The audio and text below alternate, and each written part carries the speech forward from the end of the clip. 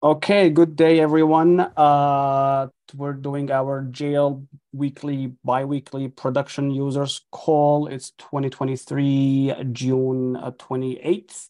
Uh, we have Michael, Jamie, uh, myself, Antranig, Jan, John and Dan, and Dan is not at the beach this time to make us envy him. Uh, so we'll get started. Uh, last week, whoever did join, we went very deep into a lot of things, including talking with uh, Shivank about his patch. Let's see if something got updated there. And then me and uh, Jan went for around a, more than an hour talking about CPU pinning and idle processing uh, I, something that a lot of us apparently don't know. Uh, CPU pinning, CPU sets, idle processing, and uh, real-time processing. So uh, if you have any questions, you would find them in the notes below. Uh, so yeah, let's see what we have uh, this week for production users. JailMac policy progress with Shivank. Anyone knows anything about that? Reviews.freebsd.org.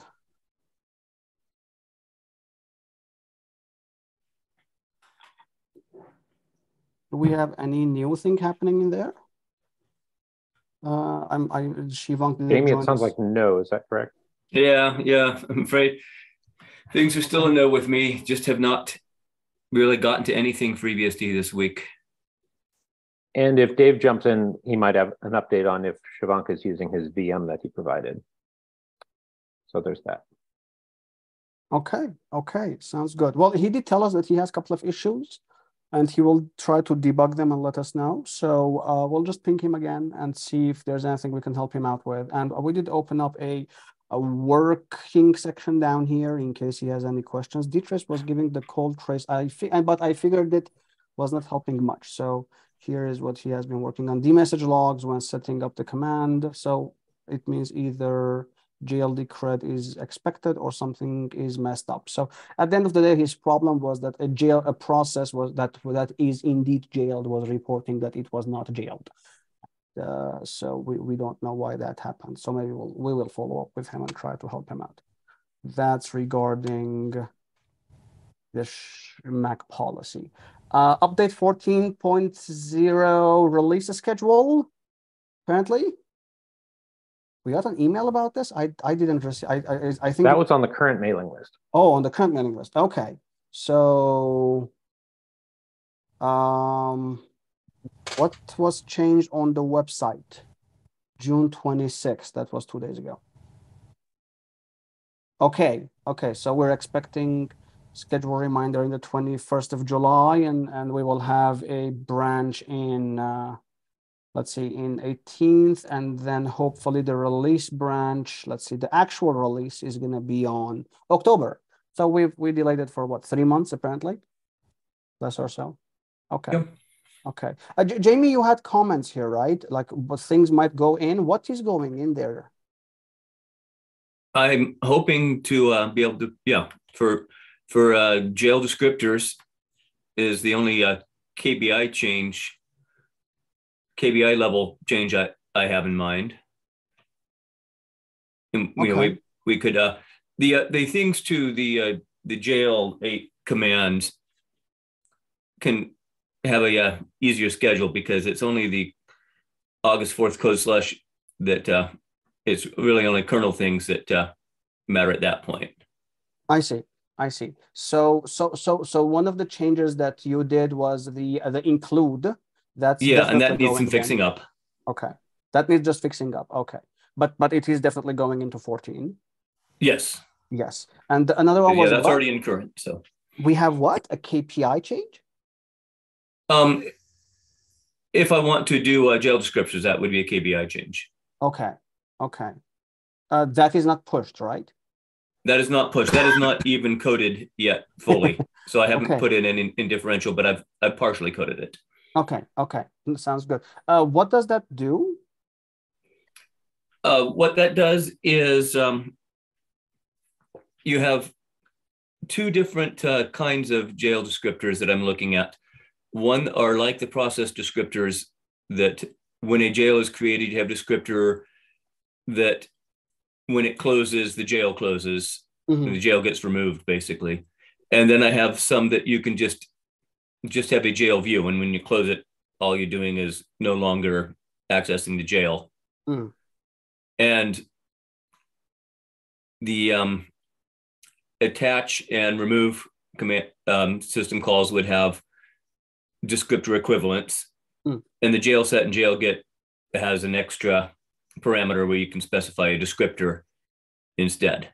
So In particular, you can take an existing jail and Hmm. get a descriptor from it, which is Mhm. something that you can't do with process descriptors. Don't know why they don't have something where you can turn a PID into a descriptor, but they didn't feel the need to. But it seems very useful and an easy enough Uh, thing to implement. Would that work outside of jail? Yeah. Cool. That's nice. I think the reason why they didn't do it is that it started out as uh, part of Capsicum, Yeah. and within the mindset of Capsicum, the other function is meaningless because it wouldn't be available to you either anyway once you enter the sandbox mode. Yeah, that's true. And yeah, and it wouldn't, and I've, this is a part I haven't coded, but yeah, I would also have it, yeah, not something you couldn't do in sandbox mode. Because I do plan on adding the capsicum to this, parts to this. I mean, might as well. Mhm. And and and to be How- clear, um, uh, the currently the jail command is not capsicumized, right? Right. Okay, that that's good to know. We uh, i- do you do you think there's like a like would capsicumizing it would eliminate any attack vectors that we might have, or Well, I think the way it's not capsicumized is that it is just wholly not allowed. But I haven't actually looked into that. Got that. So with so with the APIs we have so far and how Capsicum works, there is no point in adding Capsicumized jails or jail to Capsicum support or in any form because basically once you're inside capability mode, you can't leave it, and your uh, any new child processes will inherit the sandbox state. So you can't really use the jail command that way. Instead, what would be a useful configuration to run a capsicumized service inside a jail. But but it it makes sense to do this in two steps and not in one utility. It, does just to, uh, yeah, just for coding this purposes. may if nothing else. change with uh, jail descriptors if they're fully unprivileged, where you would want to have some kind of sub sandbox basically. But that's really out there as a design point and capsicum is already underutilized as it is and i don't see how it makes it easier to port existing code so it would basically uh, be an academic exercise rather than a useful defense in depth feature Yeah, I was gonna Yeah, say that possibly too. so. Yeah, absolutely agree. Unfortunately, Capsicum compared to all the other Capsicum-alike tools like uh, Pledge on OpenBSD, right? Ca- Capsicum is a nightmare, and Pledge is like like you can understand what you're doing, and Capsicum Uh, seems a lot more complicated. is very invasive to existing code because it removes all um, all um, shared namespaces. Hmm and it's not hard to write a new application again within capsicum it's almost the same. The problem is that you have to get it right for it to even basically compile and start up. Yeah. With other sandboxing mechanisms you can slowly debug your sandbox configuration whereas with capsicum there's uh, basically the big bang problem where you have to start and get it right the first time which is why it's hard to retrofit to non-trivial code bases Um, do we have Capsicum examples in the code base, by the way? As in, you know, examples slash Capsicum. tcp anyone? dump ping Uh, Yeah, that's a good point. Yeah, both of them are Capsicumized, and both of them are complex software. So. no ping is pretty simple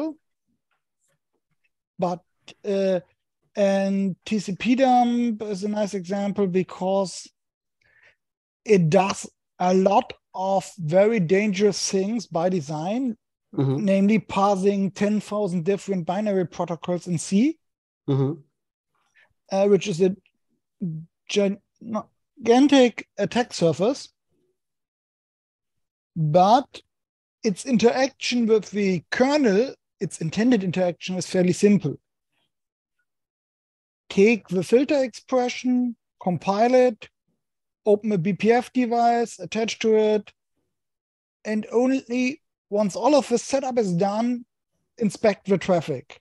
So there's a clear order where you basically lock it down and then you enter the sandbox before you look at the first network packet. Got it. And that's a good design choice and while tcpdump was a forgiving code base to retrofit this to. Beautifully put. Yeah. Um, otherwise, grep for the capsicum functions uh, in the user space sources. And something else to look out for is that you don't have to enter capability mode to restrict file descriptors. Mhm. So you can use uh, the capsicum functionality, for example, to take a file, uh, a socket, uh, file descriptor, and wrap it in such a way that the only allowed operation on it is to receive it and close it. Hmm. Then inherit this so that you can't change the locking or on a device descriptor that you can only ins- do one or two ioctls and not the dangerous ones. Mhm. So you can lock it down even within the normal ABI with the shared namespaces and get better security that way. If we have time for it later, I can explain a crazy thing you can do with this to uh, work around the need for a mounted file system for Unix sockets. But Mounted to a Linux socket. it's just a way to bootstrap the system.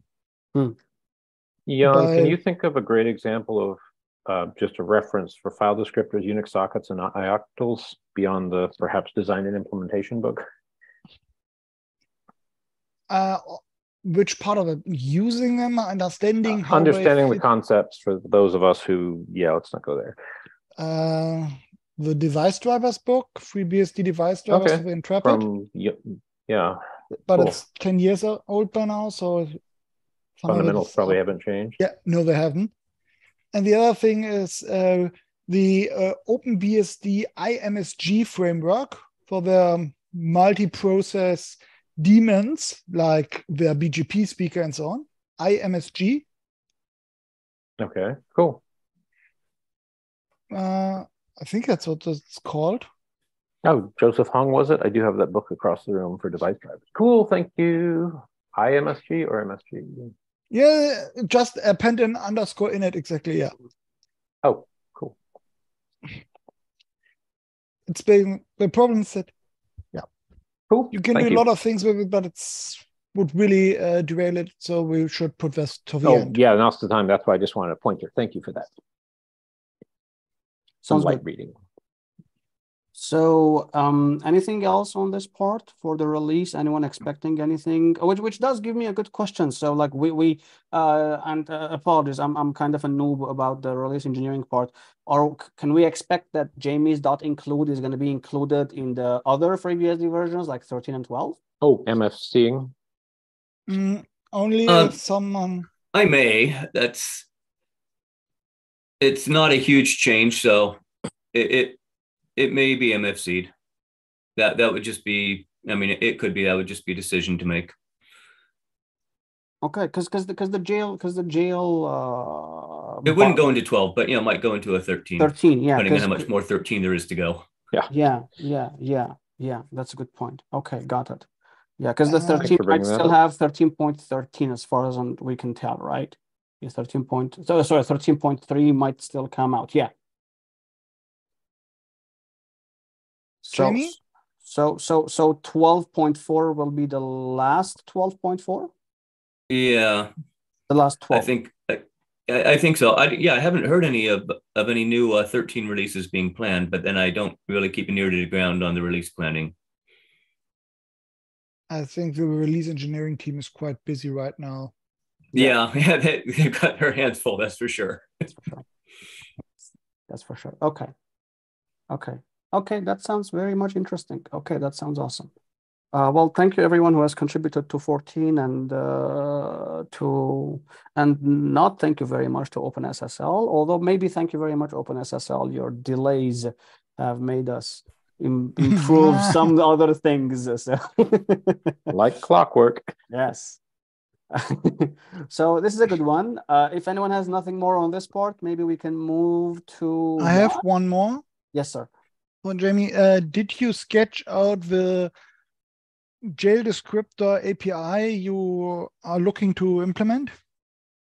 Uh, yeah, the API is mostly in just in uh, adding a descriptor parameter to jail get and jail set. So if you create a jail and add a descriptor parameter that will re return a jail descriptor when you create mm -hmm. the jail and okay. And and likewise with jail with jail get you can uh it's it's actually a, a bidirectional thing. If you give a valid descriptor in that parameter it will use that instead of a JLID if you have a parameter without a descriptor number in it then it will return a descriptor. Um. So it, it doesn't change the actual system call, it's just all in the parameters. Okay, but the operations on the descriptors because what yeah, is... if you if you then run jail set, if you call jail set and you know you can call it without a JI, jail ID, but with a descriptor, it will use the jail pointed to by that descriptor. Okay. Um I was more thinking about the really the system call level, not the uh, C API level. Yeah, the, the uh, system because... call level, it for jail get and jail set, it does not change at all. For jail attach and jail remove, there would be a new JD attach and JD remove calls that take a descriptor instead of a JID. Uh, but it still has to be unique. So it, just because uh, there is a, you have a jail descriptor in file descriptor number four shouldn't mean that you can no longer address jail ID four, right? So the um yeah, it's, I mean the the file way. descriptor number is just per process namespace. The only thing that number is used for is just getting the descriptor itself, and then that just points straight to the jail so, without worrying about jail ID. But unless you're adding either a new uh, system call or modifying the existing system call in such a way that there is a basically a type bit telling it whether it references a jail ID or a file descriptor, you get an um, aliasing problem. It well, yeah, it with the jail getting set, the parameter would be either JID or desc, and with um, attach and remove, it's a separate system call. So that's yeah. what tells you which kind you're using. Question. Okay. Yes. Um, I, I, I just realized I don't know anything about operating system kernels. Wait, if I print the jail descriptor, wouldn't I get an, the JID technically? Um, no, the jail descriptor is, you know, it's is just like a, a file descriptor memory. in that no. the descriptor number doesn't matter except for finding the oh. file it refers to. Okay. Here, the descriptor matter doesn't number except for finding the jail it refers to. And the fact You're... that the jail has a numeric ID is completely coincidental to how the descriptor is used. Got it. Got it. Got it. So, so, so if I do print the jail descriptor, I would get the jail descriptor from user space. Here yes. you have to be very pedantic because there is the jail descriptor is a struct allocated in the kernel. Yeah, okay. and from but user space, it's just a number. Is a, okay, is, now I got it. it. Is okay. a file descriptor number yeah, yeah, yeah. Which is an index into your processes table of Itself. file descriptors. Yes. Yes. So at the kernel level, it's a pointer, but the pointers are referenced via an array from yep. user space. You have an indirection yep. there. Here, here's a here's a here's a here's a, here's a, a question for no sane reason. Uh, if if someone enabled procsfs on FreeBSD, because we can do enabled that what? apparently.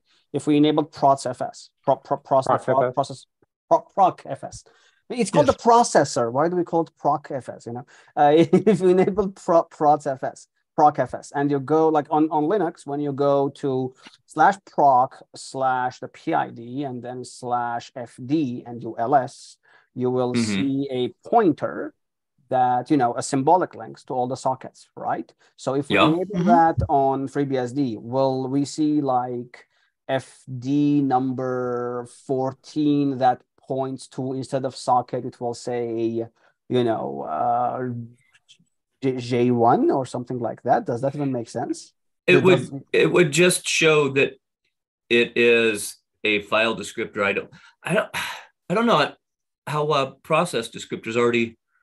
It would do the same thing that process descriptors do, whatever Okay. that is. okay okay got it, Um, got it. most sockets are also outside of the file system namespace and can't point to anything seen. You may, if it's a symlink, you can basically put a random string in there and it's a broken symlink at that point. Mhm, mhm. So, for example, for a IPE uh, socket or for a TCP over IPv4 socket, you put, could serialize in some way the relevant header fields the socket is bound to, and then, then you put it in a symlink and you get a broken symlink. Or you could go the extreme way like Plan 9 did and Mhm. basically make sockets a special kind of um, of file and then or the such that there is a path for a Mhm, mhm. certain TCP connection in a dynamic file system. But that's not what Unix normally did. And the other thing is that um, you can already, without procfs, get the file descriptors of a process via ptrace for debuggers. yes And that way, in theory, yes, you could take basically if you're running at the same user or a super user, you can either inject or copy slash steal uh, descriptors from a process. Of course, but but that that's a good question because most implementations on almost every other operating system is uh, Rogers procfs, right? And Rogers procfs, which came from SVR4 and then went into Solaris, and then Linux copied some things from that. So you know most of them look like Rogers uh, p- p- p- procfs. And there's an awesome talk from Systems We Love on that topic. So, uh, but FreeBSD's procfs implementation is kind of different for example, uh, in, in most procfs's, there is a directory called FD where, you know, you can see Mhm. the, the, the open file descriptors, but, but FreeBSD's procfs doesn't have that, for example. I just mounted a procfs on, on, on, Yeah, on, It has a separate file system for that for some reason. wow, really? Um, the fdescfs does something different. FDescFS, okay. uh, what it does is it um, basically it's an alias to embed the file descriptor namespace normally accessed via explicit system calls like dirp into the path namespace so basically you have uh, under slash dev fd Yes, index you have yes. a file and if you open it you get a new file and it's just as if you called dup on the old Got it. file Got it. Okay, okay. I'm, I'm uh, which is useful things. because you can use it as in shell scripts to uh, with commands which expect the path, but you really want to hand them a file descriptor. So basically, Cool. having application which don't have any special purpose handling for standard in and out, be able to open a file uh, which is really their the pipe you connected to them. So basically, things like this work. Yep, So mount, uh, even okay, mount has a special handling if you put in a dash, but even if it didn't, you could use it like that. Okay.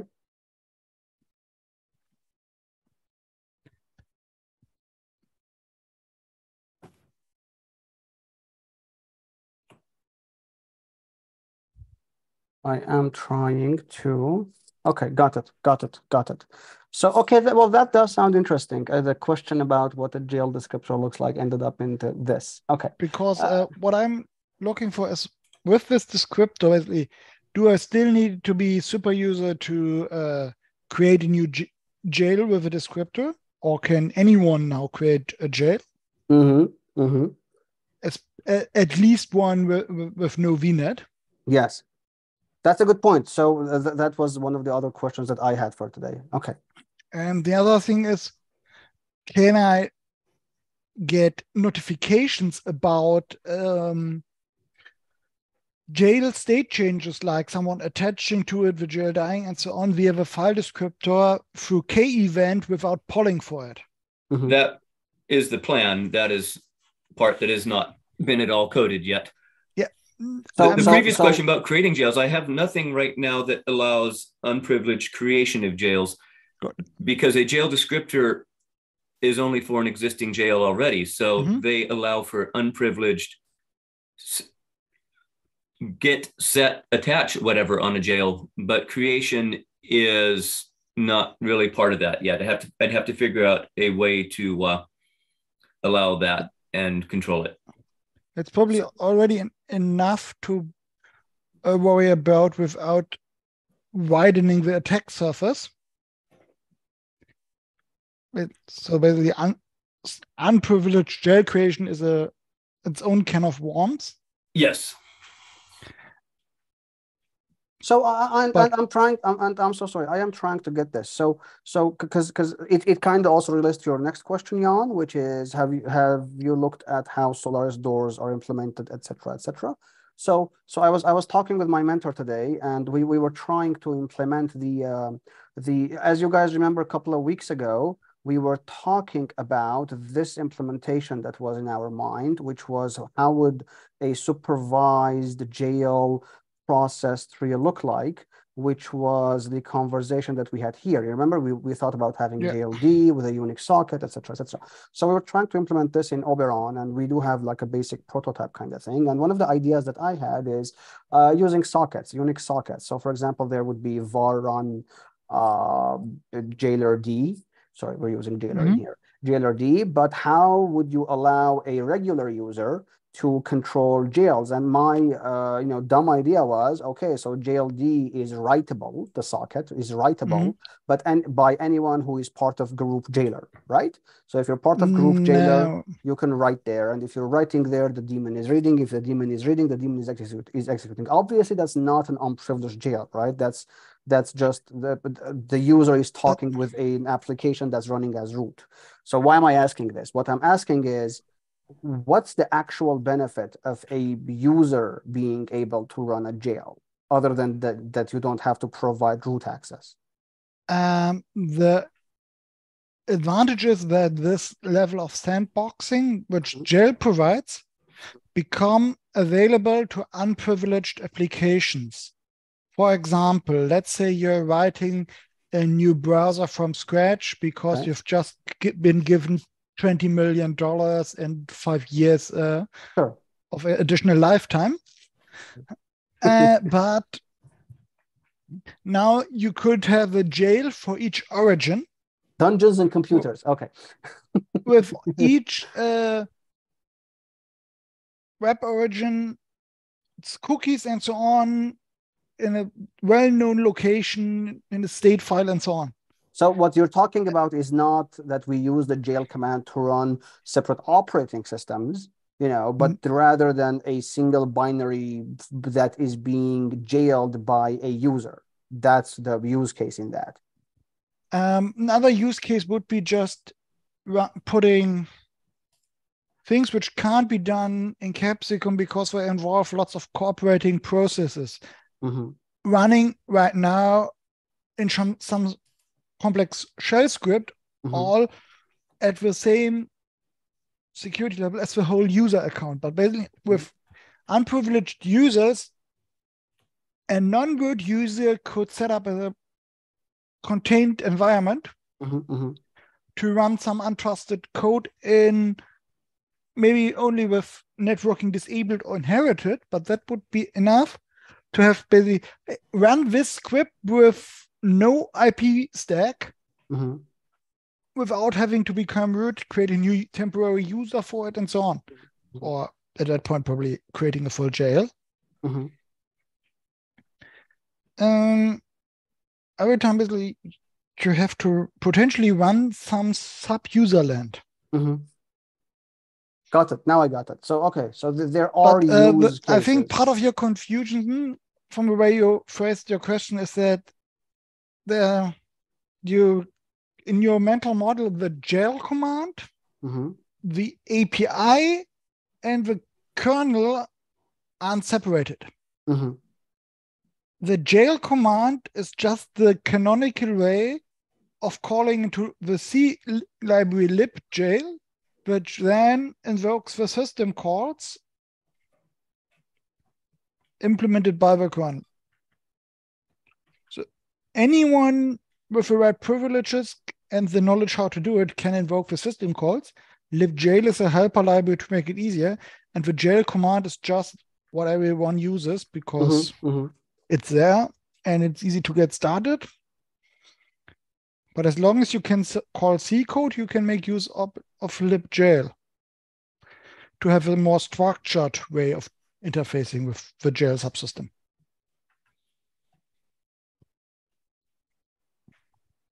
So in the design with the jailer daemon, there is no reason why it should invoke the existing jail command if it gets complex enough that just reusing this code isn't a big advantage anymore.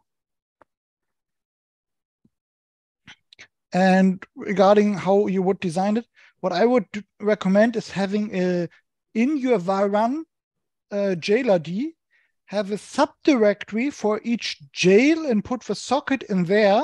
Why?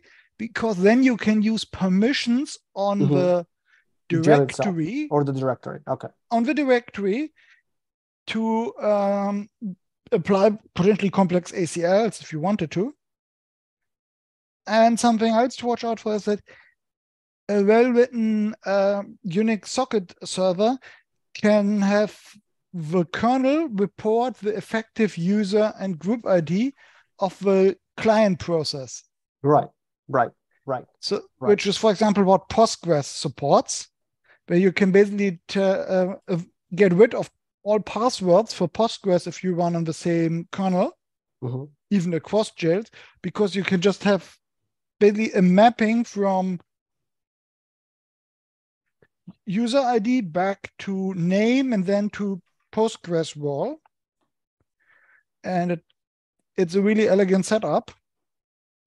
There are a few other daemons which supported that well, but it's there. It's not much code. It's just underutilized. Mhm. But it's not like Capsicum where it requires a huge commitment. It's just a few lines, 20, 30 lines of C to add to your daemon. Got it. Got it. Okay. That that does sound interesting. So, for example, you could have uh, JLID's configuration, even say something like this group or these users are allowed to create to basically to to instantiate this jail template or something. If you have some kind of instantiation concept there, Okay, so so that that's actually a good idea as well. That's actually a good good good, good uh, the directory model is a good idea as well. Uh, and sorry, wh why were you asking about this Solaris doors? Do you Um, think we should have? if you go a bit uh, up um, further on the chat where I will link to the right thing, do- doors are different from other file descriptors in that you can create them anonymously, bind them into the. Uh, so basically, they can exist similar to a pipe. There are Mhm. uh, named and unnamed pipes, so there are named and unnamed doors, and you can pass Oh. them around as file descriptors, but you can also bind them into the file system path.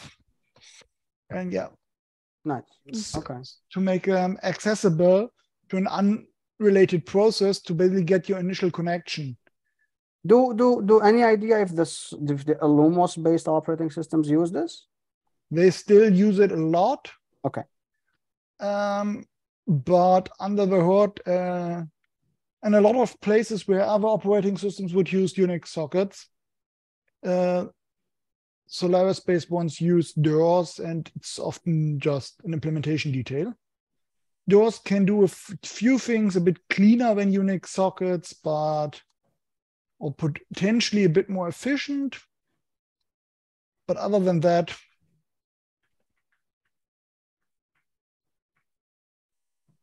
Is it door or doors? It's door. Okay. Door. Door create. Okay.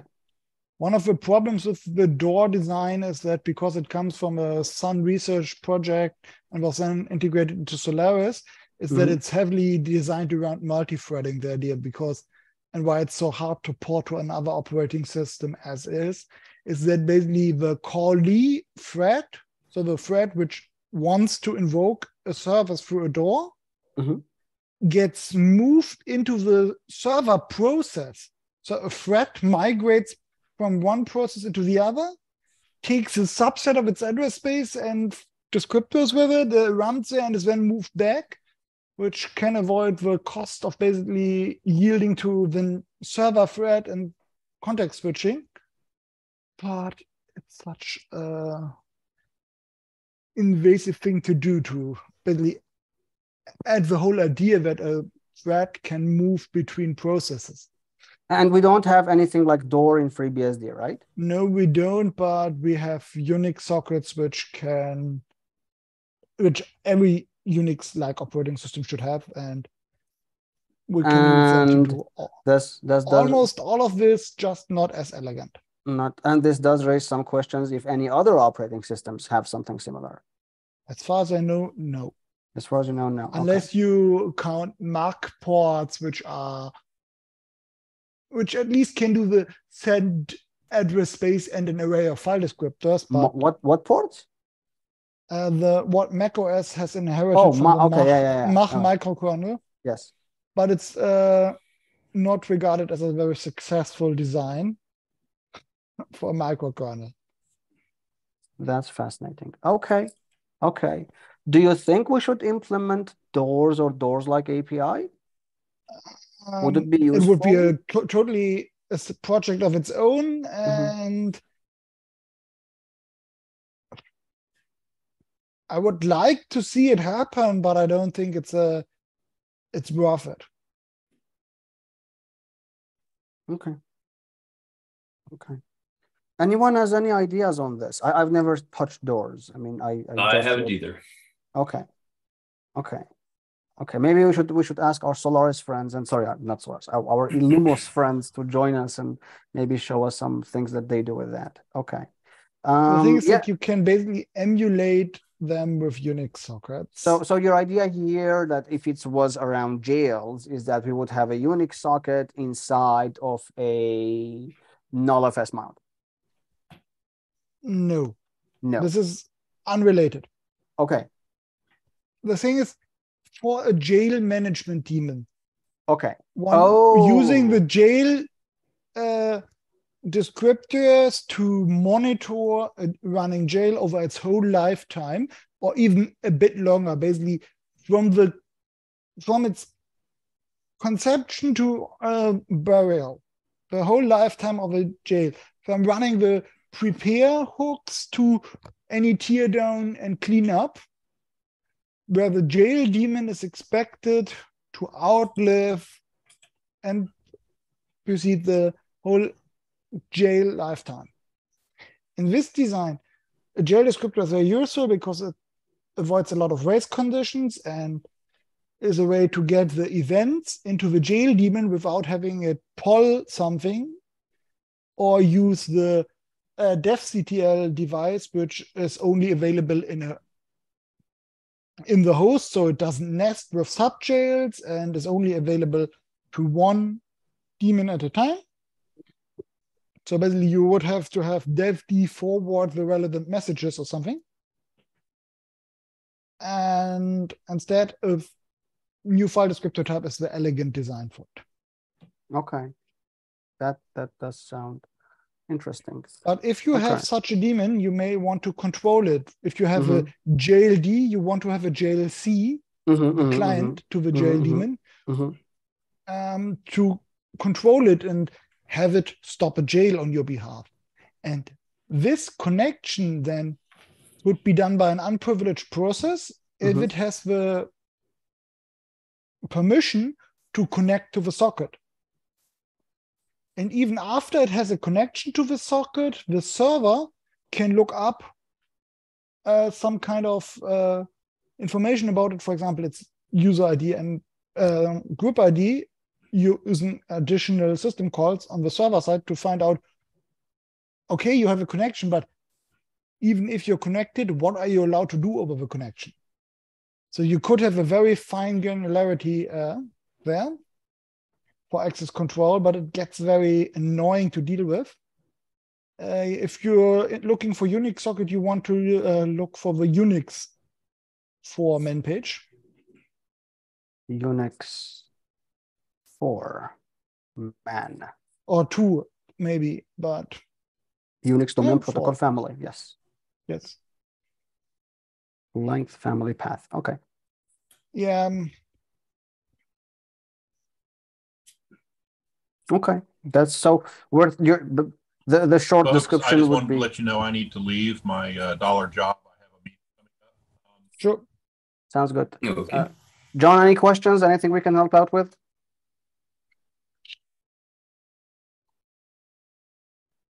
And John is gone, I guess. No, okay. I was just being a fly on the wall today. I appreciate your uh, your your time and efforts doing stuff. Thank you, sirs. Thank you, John. Have a nice day. So, so, so we, we could say that Solaris Doors is kind of like you know Unix socket plus plus, in the sense that the, yeah, it's more it's potentially a bit more CPU cycle efficient and mm-hmm. provides a nicer API by default. Mm-hmm. But you can re-implement the functionality mm-hmm. using other things common Unix systems, including FreeBSD, have grown over the years. Got it. Got it. I, I do I do wonder if and again this is me being the noob in here. So I I, mm-hmm. I keep thinking like like okay we have the Unix man page for the Unix protocol family mm-hmm. and you would use it using you know connect and l- not listen no just connect. Uh, you will you use listen uh, so, so uh, we don't have examples in here. Is that because they're old? Because like if you look into no. any other man page, right, there are always examples. No, not, they are not. Yeah. Should should we add examples? Like like if you look no. into the here, I'm not sure that this one has it. No, I, I'm pretty sure that the GL man page I think we shouldn't examples. add them there because uh, this is a man page, not an introduction to socket programming. There are lots of books written on the topic pick up a common book on Unix uh, socket programming or BSD socket programming. You're right. With your old Stevenson or something, and it's standardized. It's part of POSIX. It's it won't change, and it hasn't changed in an incompatible way in a long time. Okay. And and and the, what's the socket pair? This is a um, this is a special pair. purpose system call hmm? to create a already connected pair of sockets, similar oh. to a pipe. Okay, so, so okay. if you are you familiar with a pipe system yes. call and libc yes. function? Okay, so there you get a pipe, but a pipe is not on FreeBSD, but normally the standardized part of a pipe is uh, unidirectional. So you have a right. read end and a write end. A socket is bidirectional normally. Nice. Okay, this is awesome. Okay. And normally you have to bind a port and so on. And you have to, if you wanted to have a connected TCP socket, you would have to bind a socket, um, listen on it, accept, uh, create a new socket, connect to it, accept the connection, then you get the connected one. With socket pair, you can immediately create a two sockets which are connected. And this is one of the ways you can get a Unix socket which does not go through the file system namespace. Basically, give me a connected pair of Unix stream or sequential packet sockets. And that's how you would communicate generally across jails is you would create a socket pair and then you no. have one of the two sockets go to a uh, sub process that gets jail attached and it can still talk to the server that way. Yeah, that's one way of doing it. The other way is to put a listening socket so a bound Yeah. socket, uh, in an LFS mount or directly bind into the jail. So I, I I was trying to see if and if if there is a use of uh Illumos. eh, you if- would probably look for something like door call or F call or something. Yeah. I don't no, know it's it's, it's it's it's door create. It is door create. That's the creation, but it's often wrapped somewhere uh, Oh, I got your point. in some higher level API. And and and and apparently GitHub is now asking you to log in in order to search inside of a code. Just FYI, gentlemen. So okay, that, that- maybe after you have reached a certain rate limit. okay. And there's also door server create, which okay. Okay. That's this is good to know. This is good to know. Um remember correctly, uh, for example, use it for the name service caching daemon, name service caching daemon. caching UID to name lookups or group to group ID lookups.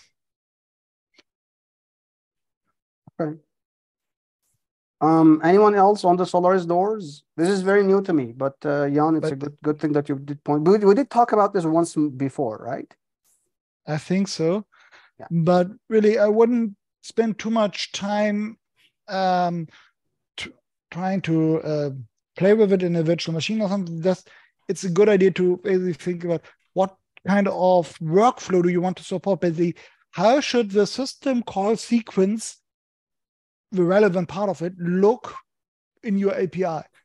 What mhm. is each process expected to do in which order to accomplish some task? Okay. without all the boilerplate, just basically how would you go about finding in a, your event loop in your jail daemon? What's required that your jail daemon doesn't have to pull and gets reliable notifications about all jail related events, like someone has attached or detached from the Mhm. Oh, you can't detach that. Yeah, yeah. but uh, someone has attached to your jail. A jail property has been changed. Uh, the jail state has changed. Th- stuff like this. Right, and, and and Jamie, when someone does like JExec, right? It's basically JExec is executing fork and then jail attach, right? Yeah. It's it's very okay, got it. Okay, got it. Um, uh, related to release engineering, and this I think Michael. No, it's the other way around, right? So you first attach and then you exec. First you attach, then you yes, first you attach, then first you fork the jail exec, I guess, and then you Okay, but that's attach before to- J JExec happens. So basically, you fork an exec into JExec, it J attaches, potentially changes the user ID, then it attaches to the jail, potentially changes the user ID again, and then it does it swing and execs into the command you specified. Okay. So uh, related, and I have a question about that as well. Uh, related to Mhm. release engineering, uh, Glenn is looking for uh, fundraising, I guess. Yeah, for, uh, Mhm. so independent fundraising. Um, he's been doing the uh, uh, engineering since 2013, 10 years actually. Okay, so this is short in here. Whoever would like to uh, hop in and jump, so please do take your time and your money. So yeah, that's that's for Glenn. Thank you, Glenn, for 10 years of work. Um, okay, uh, we have a question here. Is the whoever asked the question, are they here or Michael added this and then left, I guess. Um, the thing is that there was an accidental uh, Change? Yeah, and it was backed out quickly, so it wasn't intentional. That this the fix for this problem basically created some fallout, and that's all. I see. I see. And this has been fixed apparently. Yes, it has already been fixed. It has just cost me some time, Okay. preventing me from working on other things. Did did you did you add this? No, But it it did affect you. yes, Okay, got it. Okay, thank you. I run a, a daily cron job rebuilding all my uh, package repos every night on a big um, jail host, and because of that, I hit the few hour long window where this was relevant and then finished building a package repository with a signature which wasn't considered valid by any of my existing user lands. So they could no longer package update and upgrade and install from this repository. Mhm. So let's see. Um, let's see what else. So um, here we do have a question from Michael, which was, can one pin CPU cores to NICs? And you pointed to uh, NetISR, which, but this is this is a, the this isn't the best uh, doc- po- thing to point to because this Yeah. is the kernel uh, level implementation. API uh, Yeah. inside the kernel. It's not how you would configure it, but Yeah. Yeah, so so it would be done by this interface. Maybe we need like a the Uh, question is uh, how do you, where does this packet dispatching uh, happen right. in which thread context? So Right. does it run on the on a pin thread on each CPU, or is there a thread pool which is smaller than the number of CPUs, which just floats around to mm, as a normal scheduled process inside the kernel, or um, do you, which used to be a configuration like 15 years ago for lower end systems or very high packet end systems where you would basically pull the network card a few thousand times a 2nd Mhm. and disable interrupts Mhm. so that you get some batching effect under load, but always burn a lot of CPU. Mhm. So yeah, Okay. there are a few possible configurations there. So let's see what else we have here. This is a broader question, but before I go into that long one, uh, there was a broader question here mentioning Jamie, and since Jamie's here, uh, as Jamie is discovering what popular web client applications work out of the box on FreeBSD, such as Zoom, Slack, Web, Skype. Uh, yeah, Uh, that that just that question just came up because I've been trying to just get Zoom to work well on Windows, which you think would be the easiest thing in the world. Wow. So I didn't actually ask that question about FreeBSD. It just kind of brought it up. Okay. Michael actually uh, was was wondering about that. So maybe Okay. something to actually ask when he's here. That's a good question. Like I, I I think you have a valid point here. Maybe maybe the FreeBSD test suite should also have like GUI oriented tests as well. Like I understand that the scope of the project for all this time has been, you know, uh, from the CI/CD pipeline perspective, right? We've we've been, you know, building the port tree, okay, both uh, as a you know separate thing to know if something fails and then email the maintainers. That's one, and then that becomes the package tree that people can download. Great. We also have the FreeBSD uh, source tree that gets compiled, I guess, every time that we make a push technically to Phabricator. That's why a daemon out there starts shouting that this has been built properly. Because I, I keep seeing that in Phabricator as far as I can tell, right? So whenever you push something, Herald comes and says that this has been compiled properly or something like that. I never understood what that is, which I don't see here for some reason, except here that Herald says added a subscriber. So for example, because I've seen that in my uh, changes, like let's say, uh, actually it would be easier to go to an account, right? Than actually try to find something. Okay, sure, this one. So like a bot would come up. No, I don't see it here as well. Oh, there we go. Harbormaster completed build, blah, blah, blah. So now Harbormaster has done a build. I, I actually don't know what this is. So I'm assuming this is like building FreeBSD and then making sure that it was buildable and it didn't, you know, destroy the whole system, technically speaking, I guess, Basically, they make build world, build kernel. with that diff and make sure that it builds fine. Okay, so it does that. Okay, great. And uh, we also have, what's our CI/CD pipeline? ci.freebsd.org? Yeah. Which is our Jenkins. And this is doing the doc main, doc offline docs, also docs, apparently a lot of docs. And then main something something. And okay, this is doing everything on FreeBSD, but we're not testing actual usage of applications. So like a good point here would be, know, taking FreeBSD, booting it up, installing the packages, Xorg, what have you, opening a browser, going to a Slack, and then making sure you're logging fine, or going to Zoom and making sure, sure you can do a call. And I mean, there are there are GUI automation tools on top of Xorg. I'm not sure about Wayland. Wayland is still very far behind. Uh, that that can do that, right? Maybe the, does that make sense to actually? And I mean, this is also a good place to use jails. Less or so. That's uh, yes, but it's a giant project of its own. I know, but like, is it is it even worth it? Because I mean, it's it's tests. I, I feel like tests are always worth it. Yeah. Um, while I feel like tests are always worth it, my actions have not backed that up. uh, I know the feeling. I know the feeling. Last time I wrote a test, one was I was learning about tests. So, okay. Uh, okay. Everyone has a test system. The lucky ones have separate production systems. so, so, so, th- so this is a good one. So we don't test such things. Maybe we should point this out to the community as a whole. And this mm-hmm. also can start as a separate project. You know, like I can just fire up a, a, a, bare metal server, a tiny one on the cloud, and just have a FreeBSD VM that does all of that automated and see what it does. And the, the, the hard part is going to be like how can you make sure that the microphone is working?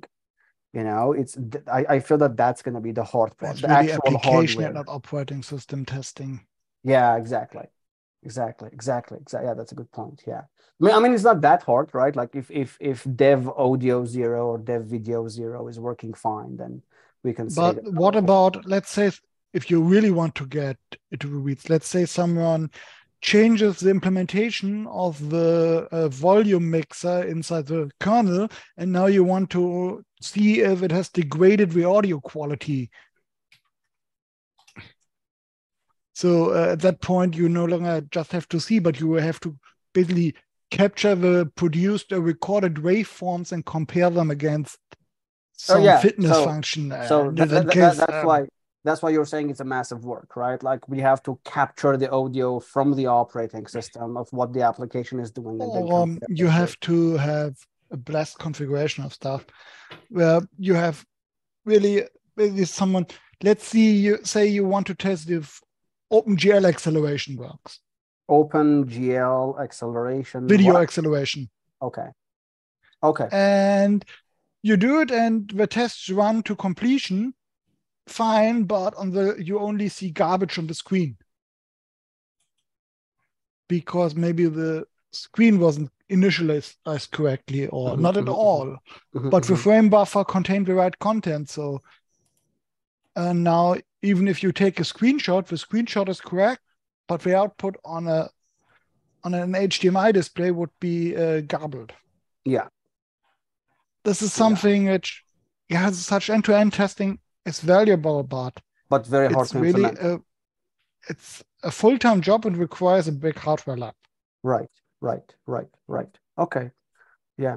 Well, maybe uh, still, I do think that it's it's a good point that as Jamie was discovering that we should actually point this out to maybe the foundation. You know, like can we have extra hardware to try to build a proof of concept of something like this? And I feel that you know um, Zoom would be a good one because a lot of people use it these days, or even Skype is also a good one, you know. So yeah, doing applications. Something else, uh, which would be a lot smaller in scope, would be to make sure that when adding the features we've been talking about the last few weeks, yeah, uh, there are not just positive tests but also negative tests. Yes. So make sure that the permissions actually restrict you. Yes.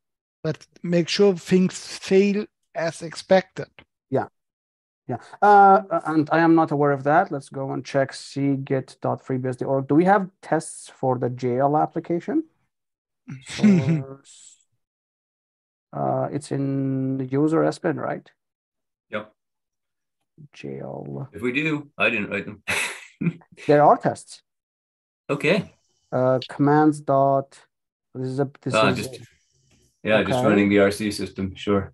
Okay, mm-hmm. okay, and this one is oh okay. We have a we have a, a, QA test, as they call it. So you know, check, exit, ignore stuff, ignore. It's I, I have no idea what this does. By the way, I'm not familiar with with. with Make sure that some basic sanity checks uh, pass and that you can create a persistent jail. children max, etc., etc., check. Oh, so I mean, there there is there there is some good amount of tests. Maybe we should go over this. And if we do run git log on this file, it was when? When 2019. No, just a couple of. No, this is just the identifier. 2021. And yeah, this is the header, and then it was written in 2019. Okay. Yeah, there, there's a good one. Maybe we should go over this test as well. I think this would be very interesting. I, I'm trying to learn uh, QA, so QA, however you want to call it. Uh, so this might be a good place to actually learn it as well. And this is good. This is good. It's it's good that we have something. And I do wonder if uh, JExec has that. Nope, no test in JExec, although there is not much to test in there. And then we have JLS, also not much test in here, but it would be a good idea to make sure like the output is fine. For example, I think that's a good one, right? To make sure that the output is fine. Yes, the, the um, output from it isn't changed. For example, if someone were to add libxo support and we produce Exactly. the existing output format as is, Exactly, exactly. to m- minimize the risk of breaking someone's existing script. which which does give uh, does give me a question. So I was I was playing around with Jailer uh, to to make the new version, and I I had this question, which is in our I think it's in Jailer core. Yes. So I I do tend to use uh libxo whenever possible. For example, in here, as you can see, like xo, and it prints as needed, which which gives me the ability to you know pass the style if I need to, but. I was thinking, do we, is there any shell application out there that always uses Um, xo? Because if you look into our why? code base, we also have a printf, and I would want I to think like, there's a problem in your script. go on. Uh, you're using uh, the dash z and then an unquoted uh, variable expansion. yes, but regardless of that, you, you have no idea how, how many bugs are here like that. The problem is that this gets split into multiple tokens. Yeah. And the, the some of the subtokens could be uh, things like operators for the test. Mm. If you Mhm. wa- really want to be sure, you have to put it in double quotes. Yeah, But but but but but a, a question here would be like, um, is, is there a shell application that uses xo like you know ex exclusively? Like I like if I if I look into my code base, printf printf, let's go to a better one, right? So here it would printf something like you know starting JL, right? So here it's it's Mhm. it's, it's starting JL. Maybe this should also be changed into xo and always pass the dash xo parameters in the shell, just like we do on the command line application, right? Less or so. So that that might be interesting because I, I haven't seen a shell application that uses libxo right like that or xo like that. So uh, no, maybe but it's a good idea. Yeah, like The downside is that it's always. always a subcommand, it's always so it's forking a lot. That's that's what you mean. not just forking, it's also leaking all the arguments uh, as uh, argument vector. So I let's say you mean. want to print a, a password back Right. or an encryption key. Why would you want to print that? People do that. As an example, let's say Oh, I'm okay. configuring a WireGuard interface and I want to print out for as debug output we- the whole configuration, including the private key, Let's let's do try the debug I, log. I do wonder. I if- wouldn't want this to show up in the um, as process argument where anyone may inspect it. Right. I wonder if, it- Uh, if it's But pipeable. shell built-ins aren't uh, vulnerable to this, like things like echo and printf, Mhm, mhm. because in FreeBSD bin sh printf is a built-in, so it doesn't get forked in exec Mhm, unless mhm. you prefix it with a command.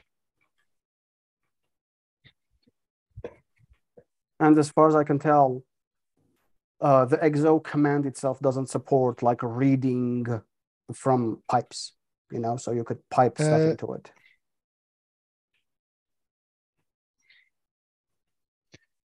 No, Nope, um, it, it doesn't, unfortunately. Okay, I get your point. I get your point.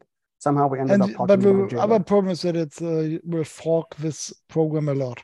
Yeah, yeah, I'm okay with that. I'm I'm pretty okay with that. So yeah. Um, uh, uh, uh, uh, here someone wrote, share your favorite dtracer script. I was going to share one, uh, which I wrote like last week, but if not, uh, we can talk about, someone wrote this. I don't know who wrote this, but it's, it's a very long and broader question. Uh, which one do we want to get into? Does anyone have any, uh, you know, uh, specific needs? now that disk space is not as limited as it was. Okay, this is a long question. Oh, maybe I should just get my glasses, you know. Uh, now that disk space is not as limited as it was, once was, how can FreeBSD better archive its net media, binaries, and build artifacts for a seamless transition from EOL to re hashtag retro computing? Okay, this is Michael. Uh, DVD ISOs would have been very helpful tracing down a libc slash samba regression several years ago once those binaries are gone, they are gone. Links to Tor, Gzz, Tor, let's just call them Tor GNU zips uh, in mm-hmm. the port. Uh, in the ports are likely broken. This is a broader issue in open source. Plus, rebuilding history is awesome when recapping your Amiga, but sucks when rebuilding a downloads directory that would have simply been moved to an archive area. Perhaps, uh, perhaps perform a smoke test audit of what TGZ downloads are available, say from the 10 era. So okay, I, wanna I wanna I wanna point out something. Uh, Vince from our FreeBSD community has actually started a awesome YouTube channel.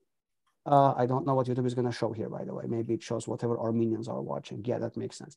And it was called it was called Circuit. Is that how we write circuit? Rewind.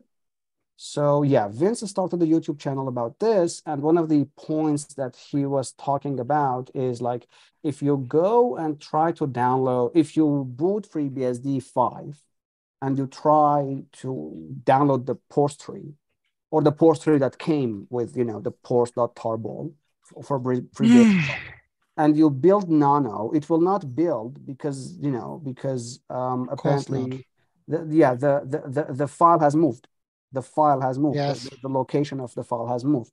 So that's actually another good point. Like even if we like should we keep the you know 70 gigabytes of archive somewhere?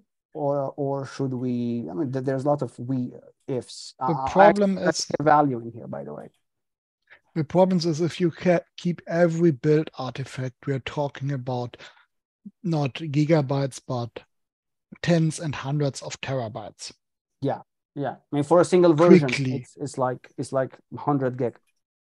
Hmm? Yeah. So um, you could at least keep the disk, pull in the disk files, but for some you're not even allowed to. Really? So it has to be, yeah, Licensing for some issues? ports. Some ports reference uh, in the extreme things is things like Quake 2 ports where basically make the maps available in this directory and then build the port. Fascinating. Okay. Basically, the, the tag to look out for, I think, is restricted, and then the label for the restriction. Okay. Um, or so, something it used to be for the official Java runtime where you basically had to download it yourself, click the I agree, and then yep. you had to drop in the dist file. Yep. Inane uh, restrictions like this. Okay, that that mean, but that's not all the ports. Like that's the minority of the ports. Yes, you know. So the, and even then, idea... you have all of the potential problems with uh, reproducing exact builds of like uh, FreeBSD snapshots, where okay. you get maybe some really old versions weren't um, reproducible builds. Then even with reproducible builds, it kind of matters uh, what's your host system. At least for some things, unless you do a double rebuild and stuff. Yeah. So so like so, so you, like if, if I take if I take like FreeBSD 13 point whatever now it is for, for 13.2 mm-hmm.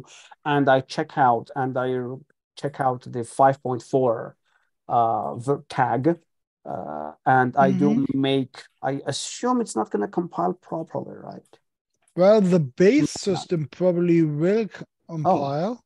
Oh, But the thing is, is it really what was on the ISO back in the day? If you build the old system with a new compiler, um, oh, or if you bootstrap the old compiler using a new compiler, yeah. maybe there's some undefined behavior in the old 20 year old C compiler code. It's a good Maybe you will have a miscompilation because a new compiler does some optimization which was so far ahead of what compilers did at the time that basically nobody cared about relying on implementation specific or even undefined behavior. Yep. And so basically really make this one of the points is that let's say you're offering paid support and a customer comes to you with well i have this FreeBSD 7 box in there and it's really mission critical and no one dares go near it Okay. How do we move forward and basically you have to recreate this environment Okay. if you can't do that things get tricky Okay. Got your point. especially if someone or crazier things if someone kept an old uh, major release around by doing manual mfcs of certain bug fixes or features or even drivers Mhm. This has happened multiple times at someone incorporating FreeBSD into a product and then falling behind the development because it looked easier in the beginning and was so tempting to just it works now uh, we will never have to update it. And then the product basically yeah but what about supporting a new mainboard when your old board goes out of production how do you get drivers with oh fuck we have to forward port all of our changes Got it. Okay. it's why uh, netflix stays so close to uh, current so Hmm. that they don't have to do that but always really contribute back so that the FreeBSD product in turn uh, doesn't diverge from them and but this requires understanding that you're having a yeah a mutually uh, advantageous relationship over time instead of just consuming something Okay. Uh, anyone has any ideas on this? Like I, I've had problems because I've actually seen FreeBSD 7 a couple of days ago, which is not I I don't know. Can we consider FreeBSD 7 retro computing? I don't think so. It's not into the retro world yet. Uh, Hmm, uh, depends on the hardware it's running on what if no, the someone hard- is running it on an alpha No, no, no. It's it's it's an on on an x86 uh, machine, uh, but it's it's running as a router, and it has been running as a router for like, well, whenever seven came out. So it's I think tw 12 years at this point, Yeah. even more, probably even more. It was in 2010, so 13 years, 13 years. Let's actually check that. en.wikipedia.org. And here we have FreeBSD release version history and uh, FreeBSD 7 in, yeah, yeah, makes sense, 2008. I wonder why they did not deploy FreeBSD 8. But anyways, maybe they had an old sysadmin because a lot of old sysadmins are like, never deploy the latest version. It might have bugs. They think it's Windows. Uh, so no uh, it will have unknown bugs unknown bugs. It will have unknown bugs, not yeah. Uh, so okay, that's that's that's that's yeah. I mean, uh, for example, there they needed to deploy a application on the firewall for security purposes. In this case, radius purposes, and um, it wasn't building. And you know, I have to have a Mhm. almost identical environment, but I can't because uh, how the hell am I going to get FreeBSD seven? And apparently, you know, we In a don't have it. Yeah, obviously, but like you can't go to downloads.freebsd.org and download no FreeBSD. I think it's ftp.freebsd.org. There you go. And then download the that that or can we? I don't know. Releases. I want to say ISO images. Yeah, you can't. Only only no la- you have to go to the archive Oh, we have something like that? Where the hell is that? it's under f- pub FreeBSD archive And it's one hidden? up no Pub. it's on FTP archive So ftp.freebsd.org slash archive. I think it's this. It should be this URL if I remember correctly. FTP FreeBSD archive. And it's on ftparchive.freebsd.org. ftparchive.freebsd.org. Let's see what we have in here. FreeBSD archive. And yeah, you're right. Thank you. Old releases, let's say ISO images. Okay, it's, it's just back to nine. That, that's not an archive. Just That's just. Take know. a look at the link. What do you mean? The latest one. so it wasn't always an ISO. Oh, oh, oh, okay, okay. Go into the uh, x68. Um, i368. I can't see it. There we go. Okay. Okay. Oh, now we're getting and somewhere. Thank you. Let's do it. One dot zero. But the problem is that this is only the official release artifact. Sometimes the updates uh, are problematic to get. You're Even right. getting this running in a in an efficient mode on hypervisor is problematic because you have to. It won't know. FreeBSD one won't know about VirtIO. You have to emulate contemporary common hardware. I never knew about this. We had 5.2.1. We had a two point system. When did this hmm? happen? Is this is this like uh, common? I think it was look it up in the release notes. It's probably some bug fix. Yeah. Okay. So this is a good one. So apparently we do have these things, and I don't know if it's deployable or not, but it's it's good but, to know but it's only the basically the install media which is preserved yeah. this way. Yeah. For and releases. For AMD, it goes back to 5.1 for AMD. Yeah, which is maybe the first one to add 64 bit. 4 bit, AMD. exactly, exactly. Yeah, yeah, that's a good point. Yeah, always look at the link. And uh, by any chance, we have older than two? We don't, we don't. We don't hmm? have older than two, right? What? Yeah. Uh, the uh, first one. The first one, alpha? No, no, no, no. The link I sent you is to the FreeBSD 1.0 release. Oh, okay, got it. Got the last it. one. Okay. So let's uh sorry, that's not that's a different window. Copy link. But there we go. Okay, okay, thank you. So it's oh, it is in here. That's weird. I didn't see it. Is it just like not in? It's it sorts before vote ten. So. Oh, it's hidden. Okay, it's like it's like hidden to the eye, not to the. Yes. Okay, this is good. This is good. Tarballs, but... and when we have source dist. Oh my god. Okay. okay. Yeah. Do modern tools even understand this? Well, the ones included do you do have install mediums, so you can just use the tools included, right? Read me. But you will um, not find any of the required uh, distribution files for any of the ports, so the dist files will be missing. So I, I do wonder how many how many of like this is like doing internet ar archaeology at this point. We moved from jails to internet archaeology. Uh, technical support for this product is not provided by Walnut Creek CD-ROM. Okay, I think that's cdrom.com. Uh, you need to contact one of the following companies and or people for technical support, Accurate Automation Company. What happened to them? uh, Gary Clark the second.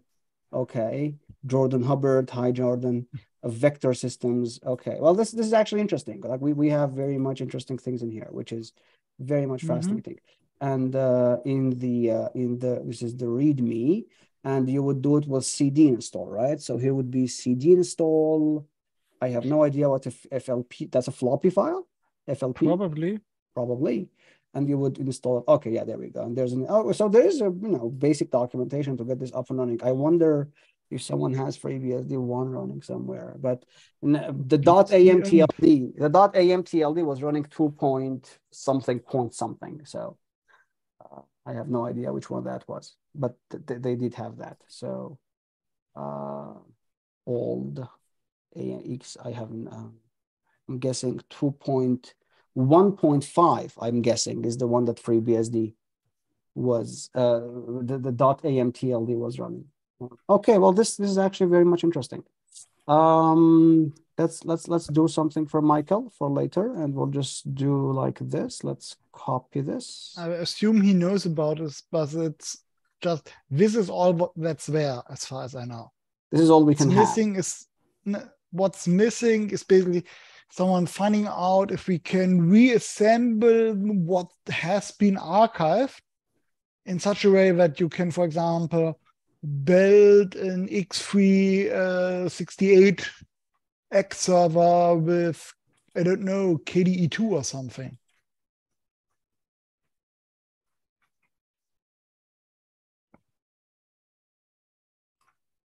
There you go. So okay. let's say you have to re, you have to, I don't know, compile a Perl 4 or something. Yeah. Yeah. Where do you get this and all the ports wrapping CPAN and so on for old Perl 5 or something with MySQL 4 and whatever things uh, are best forgotten. So, so, so, so another broader question is QA. That's quality assurance. QE. What's QE? Well, I have no idea. Maybe it should have been QC. Quality check. He doesn't write on Dvorak to mistype. Even on Dvorak, he wouldn't mistype scene any. And standards compliance. I, I I have good questions about this. And if anyone knows, please jump in. Has anyone ever worked on like the POSIX standards or whatever? Because as far as I know, the open group are we allowed to you know mm -hmm. Open their website when we're gonna post this later on YouTube. Uh, the open group uh, when they do work with other companies for the certifications, like if we go to the uh, uh, POSIX certified, whatever it is, I have no idea even how to go there. Certifications, sure. Um, again, there we go. POS Unix systems, there you go. So even even if you go to like the certified companies, et etc., etc., um, uh, as far as I know, and I, I, might be wrong, I just heard about this when talking to other engineers, is that they end up giving the companies like Apple and HP and IBM like bunch of scripts that they would run, and then the scripts would verify if like this call is POSIX compliant or this po- this call is not POSIX compliant, etc., etc. Uh, if if the, is anyone aware of this, and uh, is anyone even aware that we if we can have those? We know? can't. We can't. Those are very expensive. Free. It's a free uh, services. Never use them. As as far as I know, it's like twelve hundred dollars. Hmm. I don't know. I always thought they were they were prohibitive to the point that yeah, you know, just mm, the, maybe it's just not the scripts. Maybe it's just the actual certification that's yes. out of range for oh. anything that's not a megacorp. Okay. Okay. And to say you're a certified Unix to this and this level, yes, for that you have to pay a regular fee. And on macOS maybe uh, certified Unix, but it doesn't mean, uh, for example, has sequential packet sockets because a lot of things are optional. Mm. That's a good point. That is a good point. And other things, uh, to be fully compliant in some regards, FreeBSD would have to change things in an incompatible way, breaking existing code. Right, because because because because what you're saying is um, we we are not hundred percent Unix compliant. We we have right like some of our APIs act differently. Yes. Okay. Yeah. Always okay. have been. Always has been. Okay. Um, so, so this is interesting because I did I, again I did talk with some engineers and like the, the cost wise they were like no it's like you know, a couple of you know couple like it, it, it it's definitely not more than five thousand dollars to uh, but so maybe here for maybe example to... you uh, go to the this is royalties per unit right but we're not doing any selling because but we still have units you still have units. Basically, oh. you would have to oh. count how many installations or whatever there are, and then Yeah. Right, right, right. Well, that, that would be interesting to figure out more like, than so you're in the more than something. But if it's Yeah. open-ended, then you are in this category. If you can't uh, account for unless you can Okay. negotiate something else. Right. I, I, I, this is actually a good question for me. I would love to, again, I'm just saying from a marketing perspective, which, you know, FreeBSD is not good From a marketing perspective, I think open source has outstripped POSIX, and nobody Yes. cares if you're POSIX compatible. okay. And the thing is, they care if you're Linux compatible. there's a Um, difference between compatible and compliant and Okay. certified. Compatible, compliant. Like compatible is what FreeBSD is.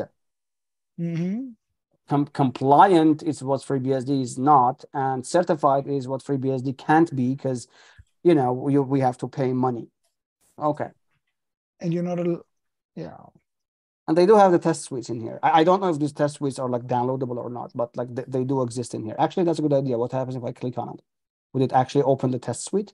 Oh, it, open, it opens something. What, what do I do? Oh, just pricing information immediately into money. Damn it, man.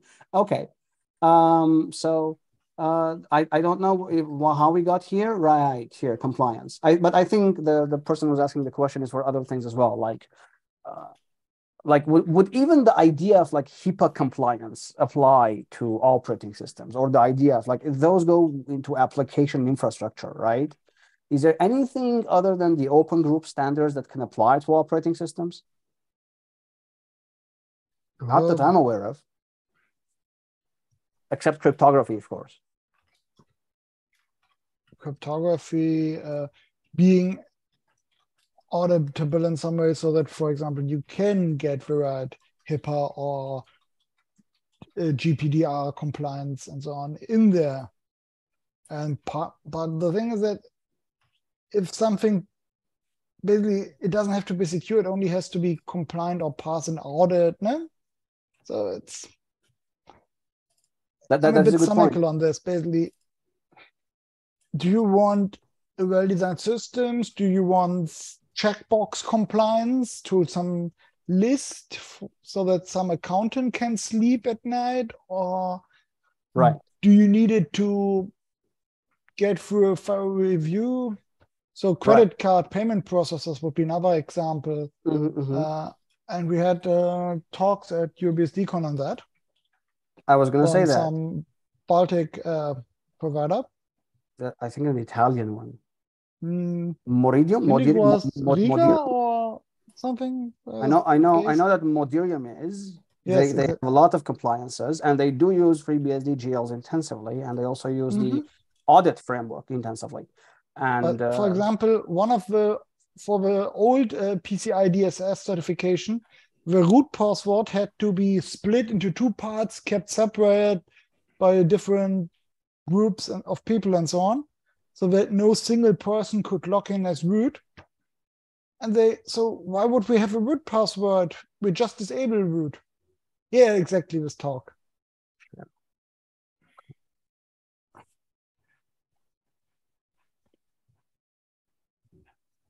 we need to watch and look back again on this. Uh, because some, what did you say about root? Uh, basically, the uh, the certification requirements required them to split up the root password into two pieces, which may only be uh, combined once recorded in the audit log or something, and to be used to recover in emergency conditions. And they just said, we don't need it. We have other processes. Even having a root password to split would be a security problem Yeah. and instead but for compliance they had to generate a random one split it up and burn both pieces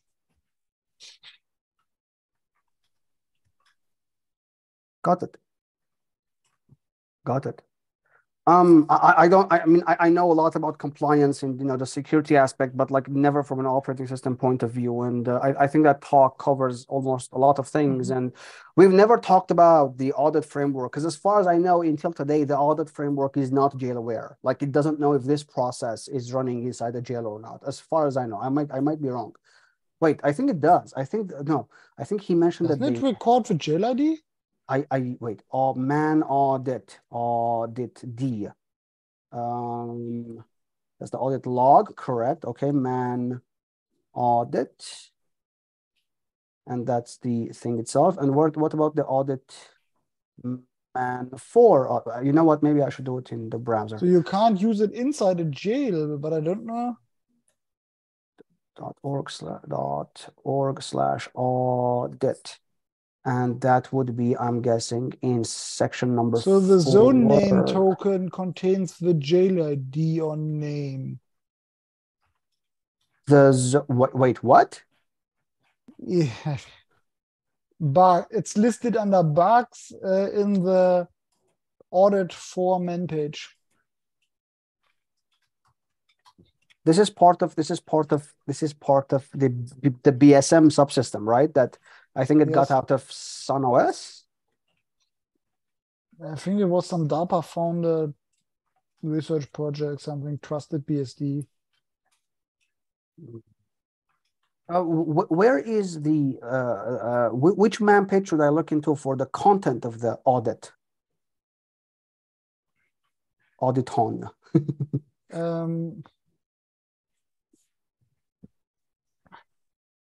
which fields there are. Here's a good idea. That's just the audit in all sections, apropos. I have no idea what apropos means in English, by the way. If someone can explain to me like mm-hmm. like I'm five.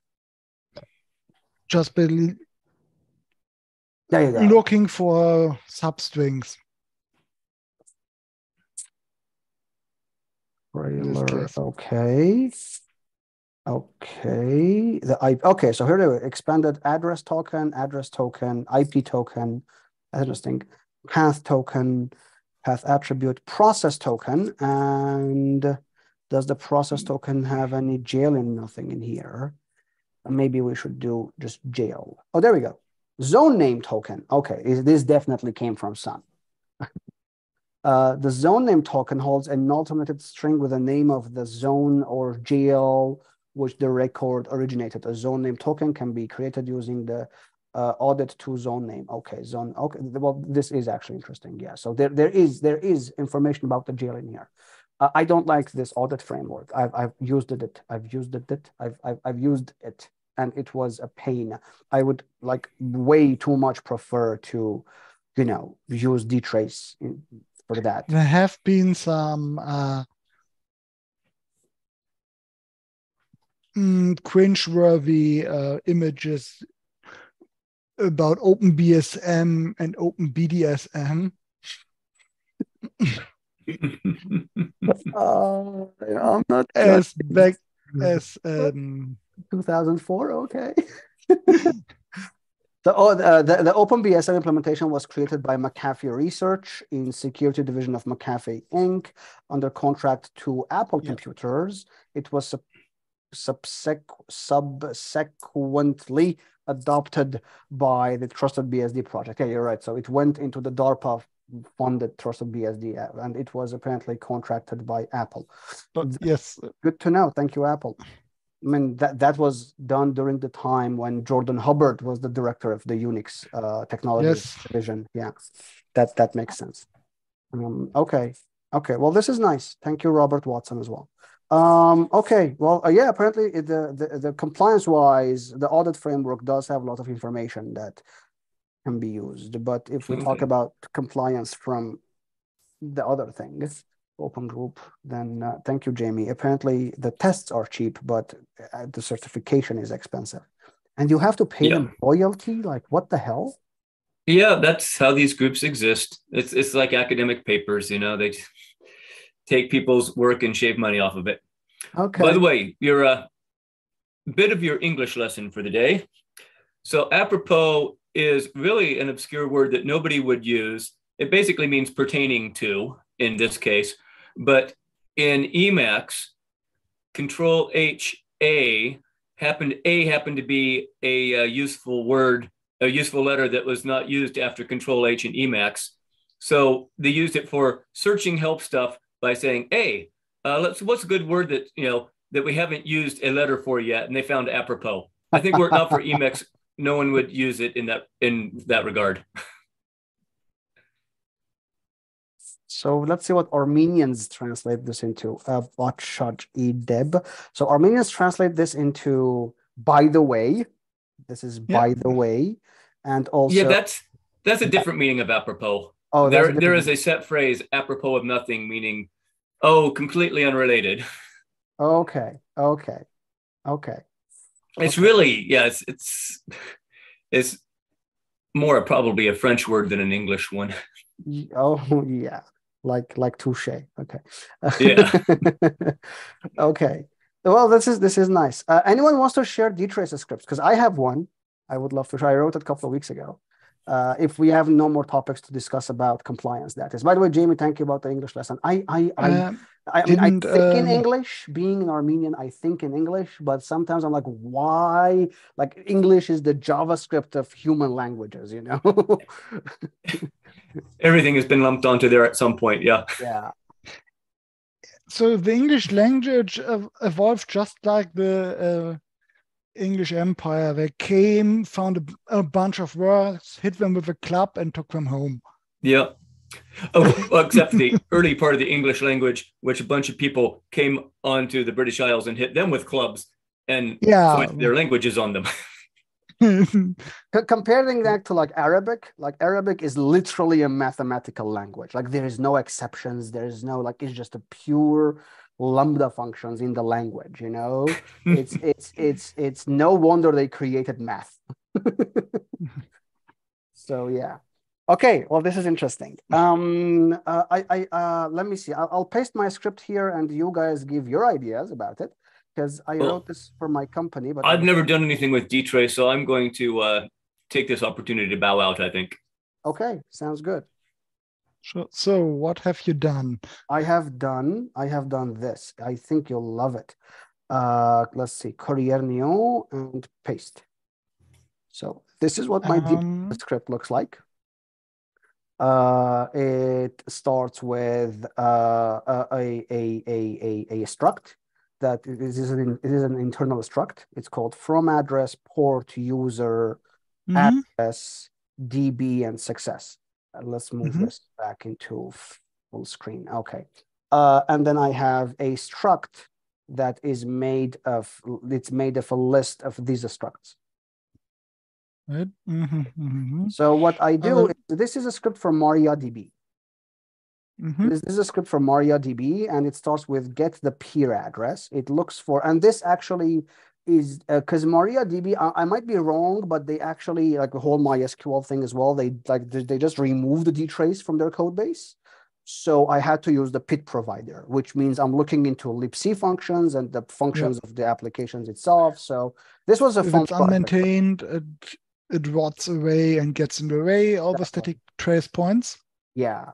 So so I started with a thread set peer address function, and the reason why I'm using the the the the the, the what do you call this in English? The uh, uh, asterisks because uh, it's written in C++. Uh, it's in some so places name mangling. name mangling unfortunately uh so so we start with the we start with with with doing the uh, what do you call it with the um uh, we, we get a connection and we we we use the index as the TID, which is the thread ID, because MariaDB is threaded, unlike Postgres, which is Mhm. which is using a, a a fork model, a child parent model. Yes. So, so here we we start with you know this function gets is address and the port inside here. So I capture those. I set the user and the DB to empty because we will be using it later. Then we go into uh, and this is so stupid of me to do that, but apparently I can, so I did. Uh, by default, it calls the general log print function. Now this is only used when you have logging enable, enabled, and by default it is. So I am using it Mhm. unfortunately. And uh, based on arg1, it uh, this is a pattern matching to realize if what type of log it is, because the, the the general log Mhm. print is used for all of the logs. You know, user logged in, user disconnected, uh, database started replication, blah blah blah. So this is the byte value of of of, of I'm guessing uh, the user authentication. So based on that, Mhm. uh, I'm I'm getting the user, the address, the database. Then from ACL, and this was the complicated part, is trying to figure out with these many uh, what do you call this uh, thing? You know, uh, state Uh, mark. Uh, normally, it's called the ternary operator. Ternary because It's operator. the only, it's the only one with three arguments. yeah. So it's not a binary operator; it's a ternary operator. And with these many ternary operators, I ended up uh, somewhere where I figured out this would be the end of it, I guess. Let's see. Yeah, and here would be an enter. And I would figure out, you know, is the date does the database exist? Is is the authentication successful? Blah blah blah. There's a whole uh, things of there are a list of things that are happening in here, uh, which which which which are not easy to figure out. Like the, the, problem was like if the DB name equals to yes, then the user user did use a password. But if the DB name was no, then the user did not use a password and they did not connect to any. So it, it, it's very complex the way it worked internally. Hence, this many iterary.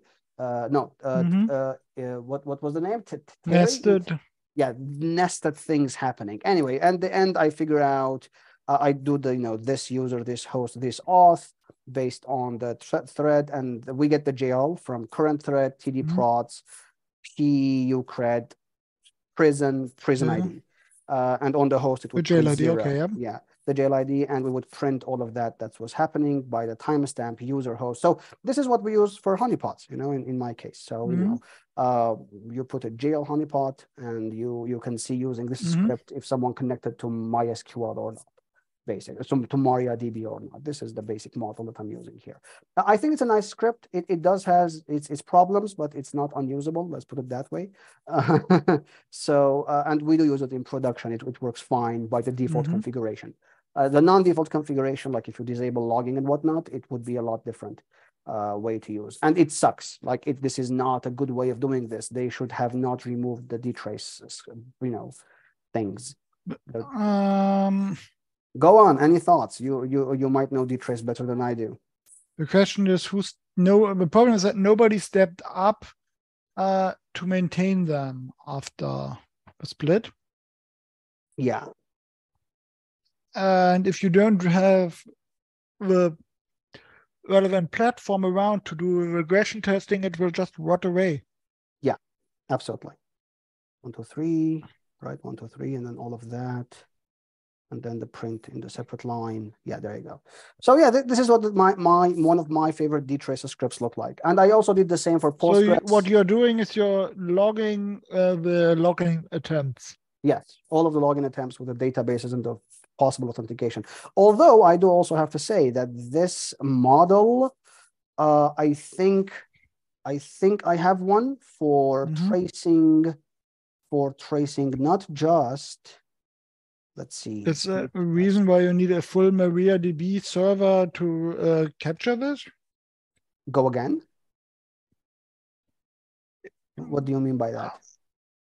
So someone finds a public IP address with MariaDB running, Okay. or something running on the default MySQL pod, probably, Okay. right?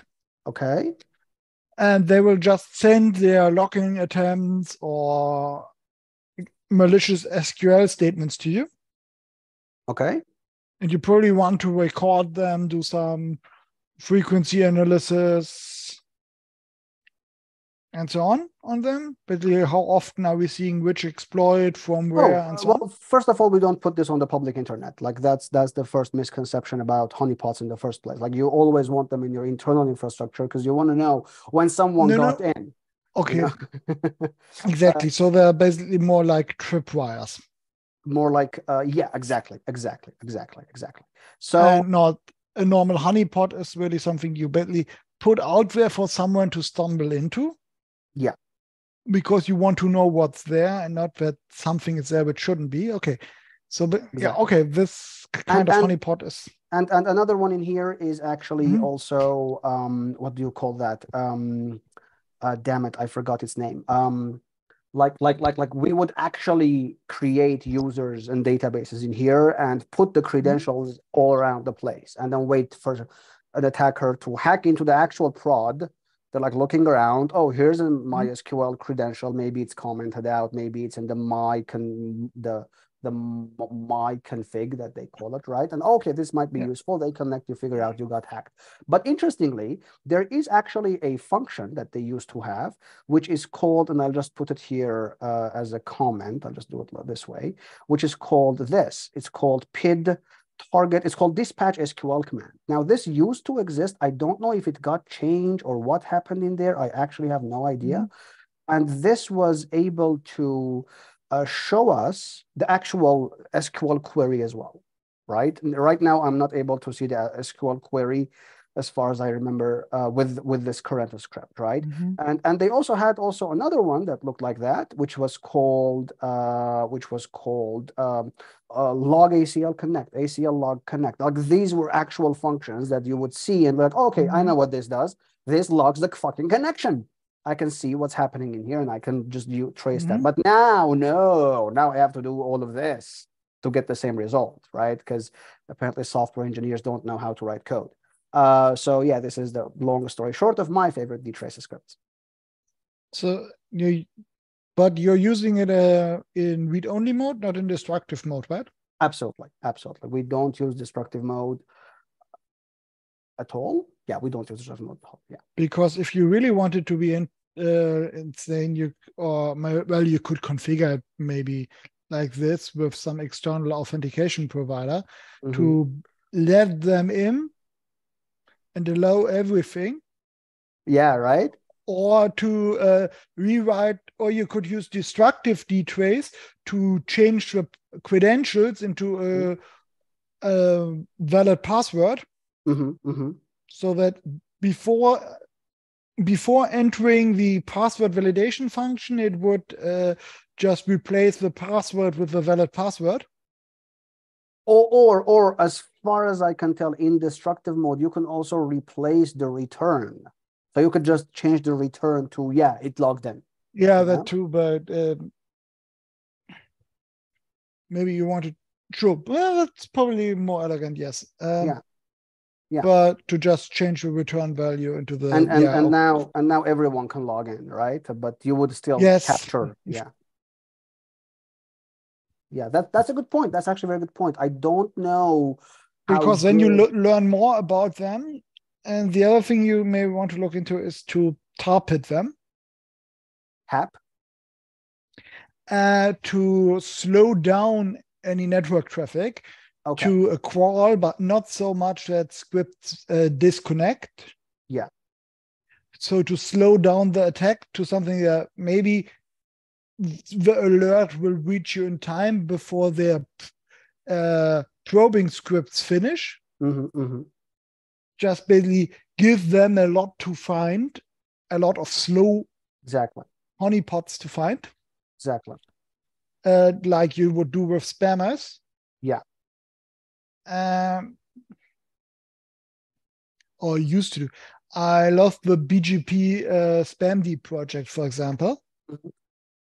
Uh, sadly, it has been uh, abandoned because the original operators are have run out of time. But it's a really great idea that you basically subscribe to a feed of um, whitelisted and blacklisted source addresses Mhm. via BGP, so that you get a real time feed of uh, spam scores hmm as uh, attributes on a route.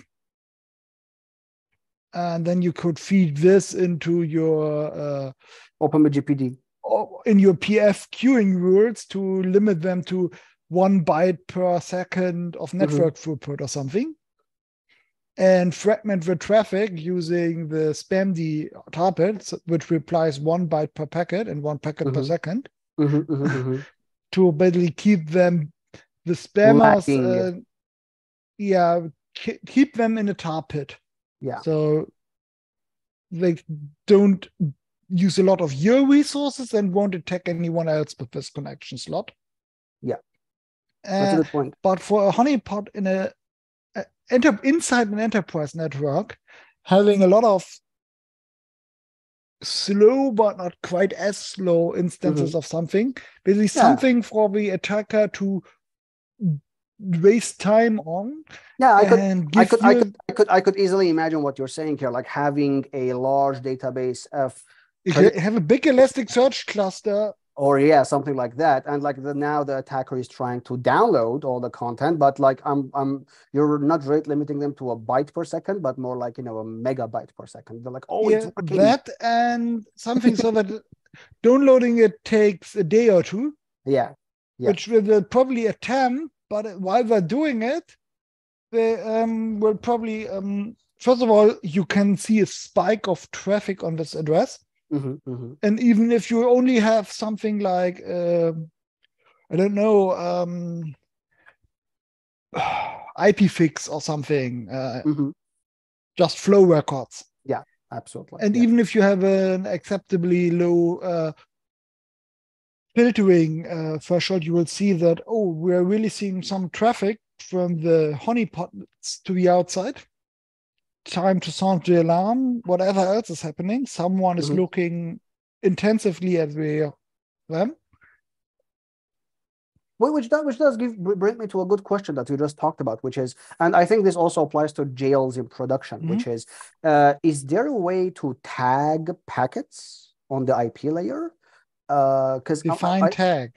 so he- here's my idea. So let's say I want to, let's say I have a web server, right? I have a web server inside a jail, and that web server is going to talk to SQL, and that SQL is going to talk to another Yes. SQL for some reason, and that web server is going to talk to a uh what what else can we have in there? Let's say it's going to talk to uh, a NoSQL. Let's say you have your normal something like a Nextcloud. You have a and yeah, exactly. X, you have fast Exactly, CGI and a database, and it's Exactly. all done via TCP on three different hosts. Exactly. So what I want to think about is like I'm running tcpdump on the bridge that hosts all of these three e pairs, right? Yes. Uh, I was wondering, is there a way to to like if if if the traffic is going from one jail to another jail, you can see that, right? It it goes like you know TCP sequence and then TCP sequence and then TCP sequence. You can figure out that. But what if it's going from here to here and from here to there? So from Mhm. zero to one and from one, is there a way to tag packets? I don't think that's technically possible, right? Unless like you're doing on the HTTP layer. then- well, it depends on wha- how your network looks. So Okay. within just your normal TCP IP uh, connection, there is no place for this information. Right. But if you have some kind of encapsulation in between, you could have such a place. So we're talking chain. VXLAN. for example, example. VXLAN or GRE or something you cobble together with NetGraph or whatever. There's so many different ways to approach this, or just implicitly embedding it in the IPv6 address plan, the information. With IPv6, you have enough entropy in there that you could give uh, basically embed the jail ID in the IP address. encapsulation like VXLAN. What was the other one that you suggested? G uh, generic routing encapsulation. GRE. Uh, Mhm. You can do then you have uh, about a dozen different ways of doing it with NetGraph. With IPv6, you can just embed the jail ID into the uh, no NetGraph is separate from IPv6. Oh. With IPv6, you can uh, just en- embed the jail ID into the IPv6 host address. Just allocate a slash 69 or larger per uh, FreeBSD jail host, and you will have uh, enough bits in the IPv6 address to assign each jail a unique um, Yeah. IPv6 address within this prefix. Which uh, is That's a good of the one. most elegant ways of doing this. That's a good one. So, so the reason why I was thinking about this is let, us say let's say an attacker got into a jail, and then Yes. from that jail they're got into another jail. Now this could be honeypots like we use, or it could be actual Sure. production systems.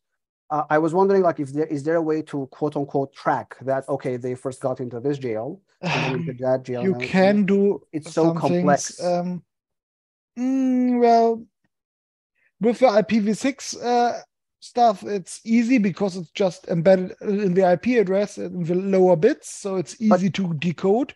But you wouldn't know, right? Like this is that like th- it could be either a regular pr- packet of HTTP connection from the web server to Nextcloud, or it could be the attacker's traffic. Like you would not know that. in none of the cases you described, you would implicitly know if it's an e- unless you set the evil bit. the evil bit. That's a cute one. Okay. And no, no, there's an actual RFC for that. Seriously? An RFC for that? Yeah, it's an April Fool's Day RFC, Oh, but it's an actual. RFC from 2003. Okay. Okay. It, uh, so uh, basically use a reserve bit to market as and uh, it's a, this is evil. Okay.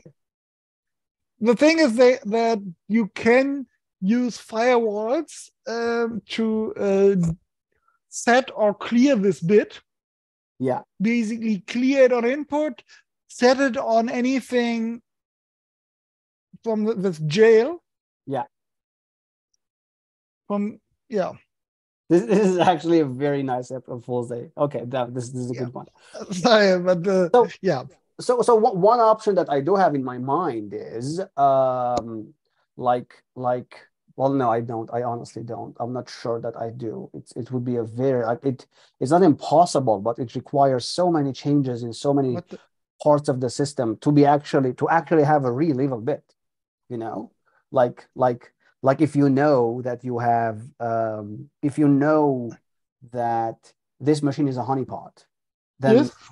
maybe everything that comes out of that from the VXLAN should be tagged forever uh, for example using IPFW or PF yeah you can set this bit okay in the IP header okay you can actually use it like that inside your network. You just have to make sure that you inspect it in the right places. It's really a tongue-in-cheek joke that you can't trust this information, but there is a reserved bit for you to mess with. uh, with IPv6, you could do it with flow labels or an additional uh, host oh my header. god. Oh my god. XMPP added malicious stanzas. Oh my god. I did Just- not know about this. Yeah, it's a joke. Again. and Google added evil equals true well Google would yeah, they should have done that. Um, it's uh, just about right from a timing point of view. They shouldn't Exactly. have removed it. exactly okay no this is this is cute this is this is very nice one okay Yeah, for example, just like uh, web servers replying with uh, HTTP for HTTP four five one uh, Yeah. to indicate censorship. yeah, yeah, yeah. After the book Fahrenheit 501, the supposed uh, point of ignition for paper. where all the books are burned yeah yeah Exactly. yeah.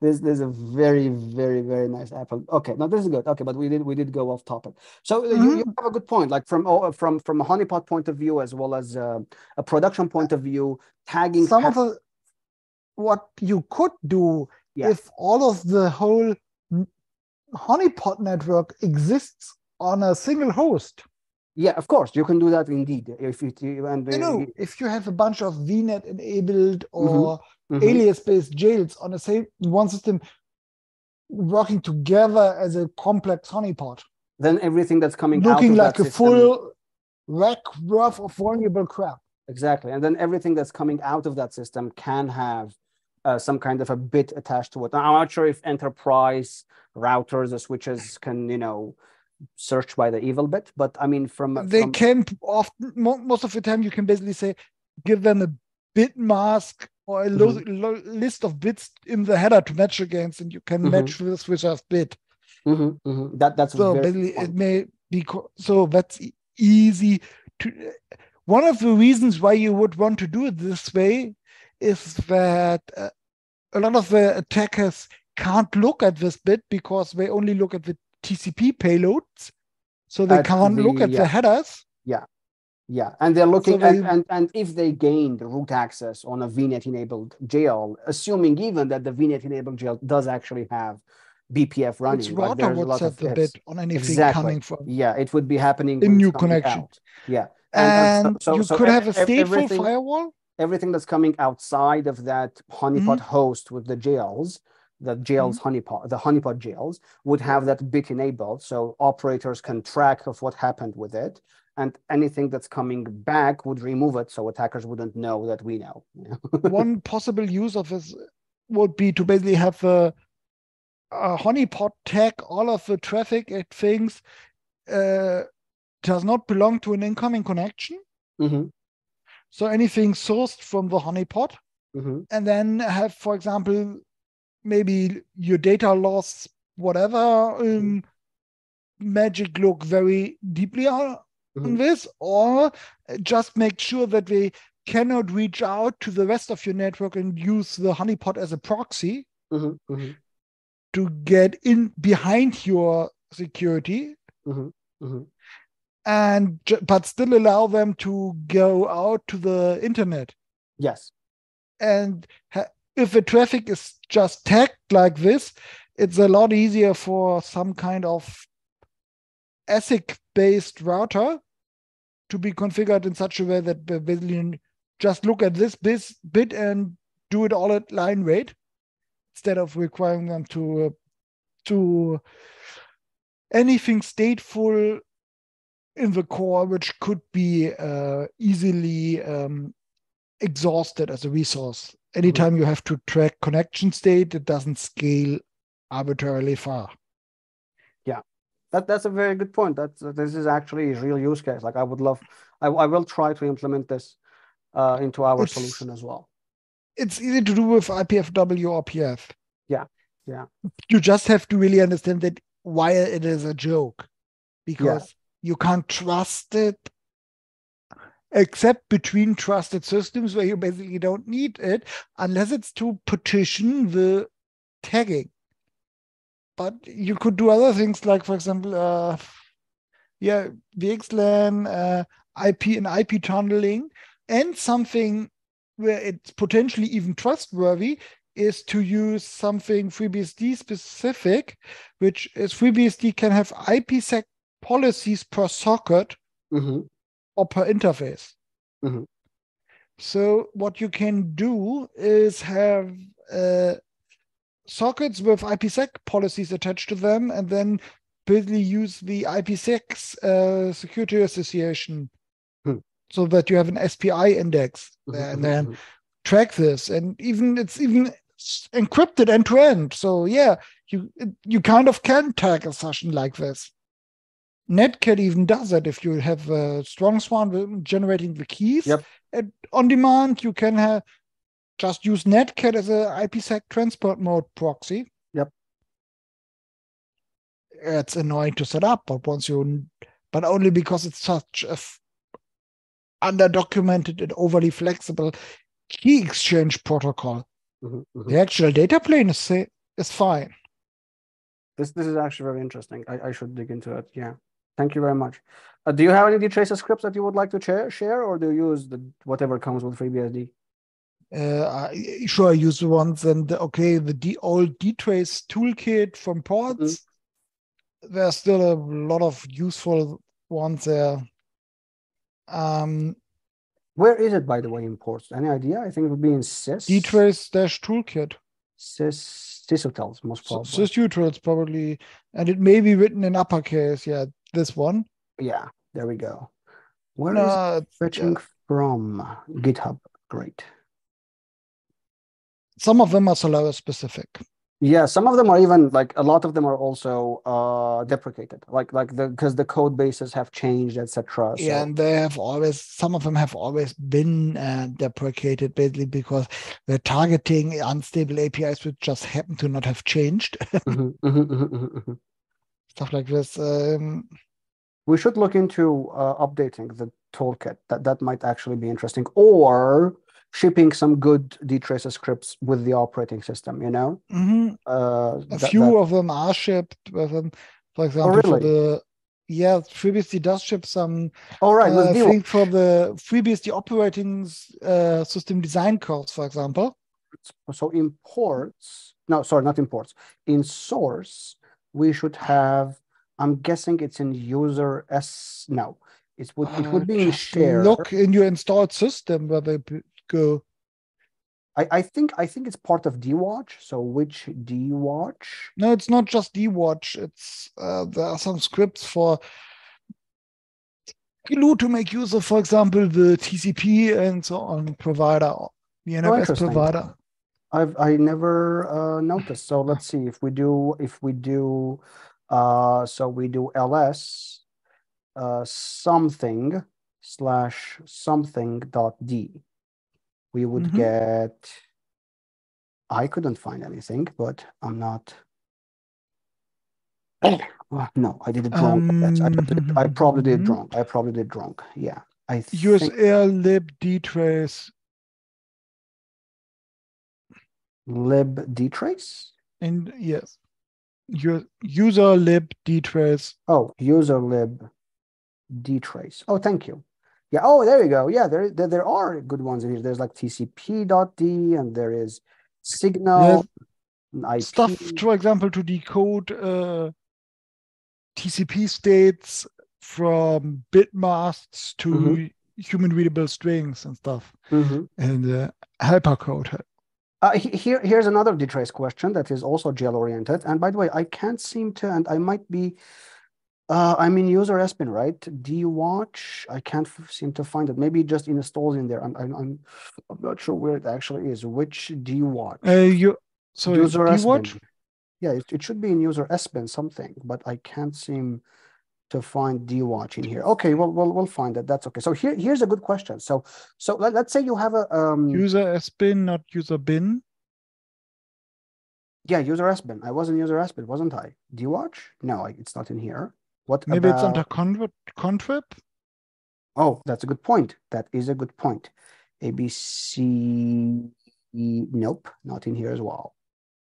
Yeah, we do have to find that somewhere. Actually, it would be a good idea to, to just search in here dwatch, because that's the only dwatch that we have. Uh, CDDL, it's a subdirectory. Uh, It's the directory at the top level. Uh, links, uh, let's see, add dwatch to the list. It's in, no, this is the man page change. It's in CDDL user SBin. It's- Oh, okay, okay. Uh, you see the user, okay. I wonder why. Because it's under the CDDL. User SBIN. There we go. Okay, dwatch. Okay, there we go. Examples, etc. But here should be libexec, and here is what they call. Uh, well, I don't know what it's called exactly, but for example, there's IP, and it's it's it, these are very good scripts. Like they do a lot of. So my question is something else. My question is, um, wh- where did you show me that thing? It was in lib, right? It was in lib dtrace. Hmm? Lib dtrace. Nope, User still lib- find it. User lib dtrace. User lib. Maybe it's also in contrib or CDDL. It's uh, look for a file named ipfw.d. Let's do that. Let's go back to the tree. In here, let's do ipfw.d. There we go. And that would be in, come on, git, search, search now. Uh, it would be in tools, build, no, not in here. No, no, that Uh, no, the path was there for you to look at because it changed. No, Oh, Mm. I see what you mean. In the change, we would see it. Okay. Uh, user lib dtrace. I still can't find it. Oh, it's user. Yeah, user lib dtrace. I did not know that. So it would be in user. Wait, what? No, that's the destination. That that was the path of the de- destination. So Yeah, it would there be- a go to. No, we need a tool in FreeBSD where you do like something, something, and you give it a path of the thing that is in base, and it would tell you where its source is. That would be a very useful tool. Uh, Um, well, with package base, the package co- which It's in command share. It's in share. It's in share dtrace. It's in share. So uh, if you have a package base, yeah, in the package base it would. Yeah, share dtrace. There we go. Okay, so here's my question. let's go to something that is IP based. So let's say um, uh, these are different than what we have. That what than what I have in my system. By the way, very much different. Like very very much different. Did they change something? Did they change like paths or whatever? I feel like they did. Maybe they have. Um, so there's like IP. Do you have it? Do you have IP.d in your directory?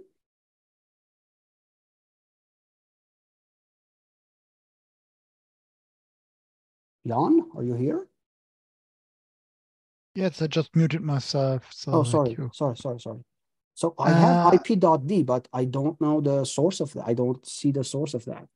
Why are you bad in search? Jesus, IP.d. Okay. Uh, how am I even going to find that? I, is there like exact search, like Google, or am I overthinking it? Why are you restricting yourself to a web interface instead of your own uh, clone of a repository? Because I want to do it in the web interface, because you know, because other people are do watch our videos. Okay. so here, here here's why I'm asking that actually. Um, Mhm. so why I'm asking that. So so actually let's do that. Let's let's actually go back to what we found before, which would be here. Okay, good. Let's go into, for example, a TCP state. This is a good one. So uh this has oh, this is just a very basic old state, new state. No, I'm not looking for this. So uh, the. IP.d is installed from cddl lib libdtrace. Thank you. Let's do that. So cddl lib, where was it? The libdtrace? Yes. lib libdtrace. Okay, lib libdtrace. Thank you, thank you. So here's a oh yeah, these are yeah, these are good. So let's go to ip.d, and this is a very nice one, which you know depends on kernel module provider, etc. Very very good pragmas, very good structs. That is FreeBSD based. Do you think this can be like jail aware, where it would be like, um, hey, uh, run this d script. This depends. this what? It depends. Go on. If it's really happening at the packet processing level, Mhm, the IP packet level on, in the network stack, mhm. there is no process to be jailed associated with this packet directly. I see what you mean. Because let's say you're a router, Mhm. You get a packet in on one interface, you do a routing lookup, maybe some stateful firewalling or whatever, and you forward it out on another interface. Mhm. Nowhere along this path was there ever a user space process involved. Mhm. Basically, pure for packet forwarding in the kernel. We have some serious issues on FreeBSD. I'm running the ip.d command and it's saying Yep. type declared struct packet info. Michael is calling. Yes, we are still meeting. we don't Uh, know when to stop. Uh, so, um, the It's thing- okay. So this is it says that this is redefined. So either my code is bad or something is actually so let's see. or your IP you kind of um, didn't follow the upgrading steps, maybe, I am not sure. I am actually not sure. and maybe you have a mixture of some old dtrace scripts or struct definitions and so on around. I mean, I do update using FreeBSD update, which which I mean, I don't update with source, so it should handle all of that. Sure, Yeah. but I don't know if it re- deletes old files which aren't libraries or executables. Uh, how do we get the link? No, we used to put like a link inside the uname that says if this is uh compiled on FreeBSD's machine or our machine. You know, like it used to have. You remember that? Like Yeah, but the, I know, but the problem with this is that it prevents the all the information in there. It, it included a build timestamp, which um, makes the build automatically non uh, reproducible. yeah, Yeah. and stuff like this. And you don't want to put for reproducible builds, you don't want to put things like the build machine in there because again, it's only reproducible on the system then. Yeah. So they removed And that. so all this whole thing got removed and you just see uh dollar FreeBSD dollar. Yeah, yeah, got it. Yeah, and I do see that. Yeah, yeah. Okay. And get one of point. it was one of the most annoying things during system updates when you had hundreds of rc.d scripts, and the only thing which changed with uh, the old mergemaster especially was uh, the version number of rc uh, the Yeah. rc script because it's now the FreeBSD n plus one version of the exactly same script with no other changes. Thank you for wasting my time. Enter, enter, enter, enter, enter. Good point. So, so, uh, so, so, so, the, the- so, okay. So, uh, assumingly, I did not use source compile. I can check user source. Yeah. I, I might have. I might have. I have no idea. I have no idea also how to check. I'm used, even if it's no longer necessary, I'm just used to uh, building everything from source and keeping my object directory around because for the longest time I had to do it this way. And once you have meta mode enabled and a populated object directory, it's just not slower than doing it with binary packages because the build system will just not rebuild unnecessary objects and then it's fast enough. Mm. Package pages may get me out of there, but Here we have jail IDs. Yeah. Here we have jail IDs. for example, yeah. But what I wanted to say about Yeah, yeah. Of if course. you have come a TCP topic, yeah. connection Mhm, mhm, and there's a s something like a send or receive system call, mhm. then you have a process invoking the system call. Of course, of So- course. So you're in the upper part of the network stack at the socket API. There you ha- can uh, get a jail ID Of course. because there's a process associated with this. We, we do have something in here which just says zone ID, by the way. Yeah. I have no idea what that Jail ID. Yeah, okay, yeah, yeah, okay. That's a good point. So I, I don't know if, if if if the system is less or so like I know in Solaris it is, by the way, because on Solaris you can you can do that. You can run dtrace on the IP uh, subsystem and say I want to see the IP of you yes, know FreeBSD has that. Right. Wait. So does that mean that this script would work to say, show me if only this VNet, basically? If the script runs, of course, in the first. Um, this is VNet. This is the jail ID. This would be at the system call level. Okay. So what would VNet is orthogonal to this? It's a system call. There's a process performing the system call. The process is, has a jail ID. Mm. The processes has have jail ID. Yes. Yes, of course. If there's a process associated with it, you can recover a jail ID and everything else associated with the jail from this. but from an if IP perspective, but from an IP From an, an IP packet, it's normally not associated with a process. It's a network packet. Okay. So, but think of it this way: like uh, the the the, the, the a jail Once the a VNet jail has a separate TCP IP stack, right? A separate IP stack. Yes, separate a stack. well, it has the same code, but all of the once global variables have been replaced, including the rou- default routing table, the list of interfaces, Exactly. and all the other state. Basically, you just index all the one otherwise global variables by jail ID. That's basically what VIMAGE is. Yes. Okay. So basically, every global variable in the network stack gets replaced by an array of variables Yes, indexed by jail ID. of course. Which means technically it would be possible. Which Cool. means with that with dtrace, if you look at a point in the code, you do not the J, VNet enabled jail does not have its own copy of the network stack instructions, only the state. Oh, So- now I got you. if Right. you so if you trace a system call or a kernel function using dtrace, Yes. VNet is an argument to it. You- Right. At some point, you may see the jail idea and then go uh, it through a macro to do the indexing into the VNetted variable. Right. So so if I run this on a host machine, it's gonna show me everything that's happening on the host as well as happening in the jail.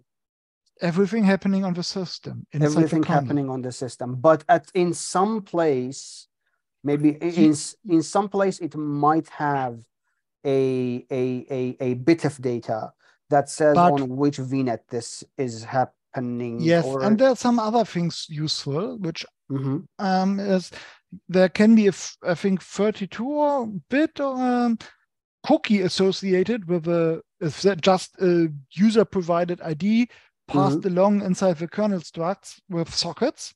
Mhm. So this way mhm. you can, for example, tag it, and then you can have uh, put additional tags in there. Mm, uh, so okay. and then Now you can use this to, for example, tag uh, things like uh, associate a VLAN tag with a packet, and then Yep. pass it to the network driver as this is a Ethernet frame belonging on this VLAN, and then the driver can either generate the encapsulation and send it out, or tell the suitably advanced networking chip, hey, send this on this VLAN, you know what to do, Mhm, mhm. allowing it to uh, do things like uh, TCP large send optimization Mhm, on mhm. VLAN tagged packets. Mhm, mhm.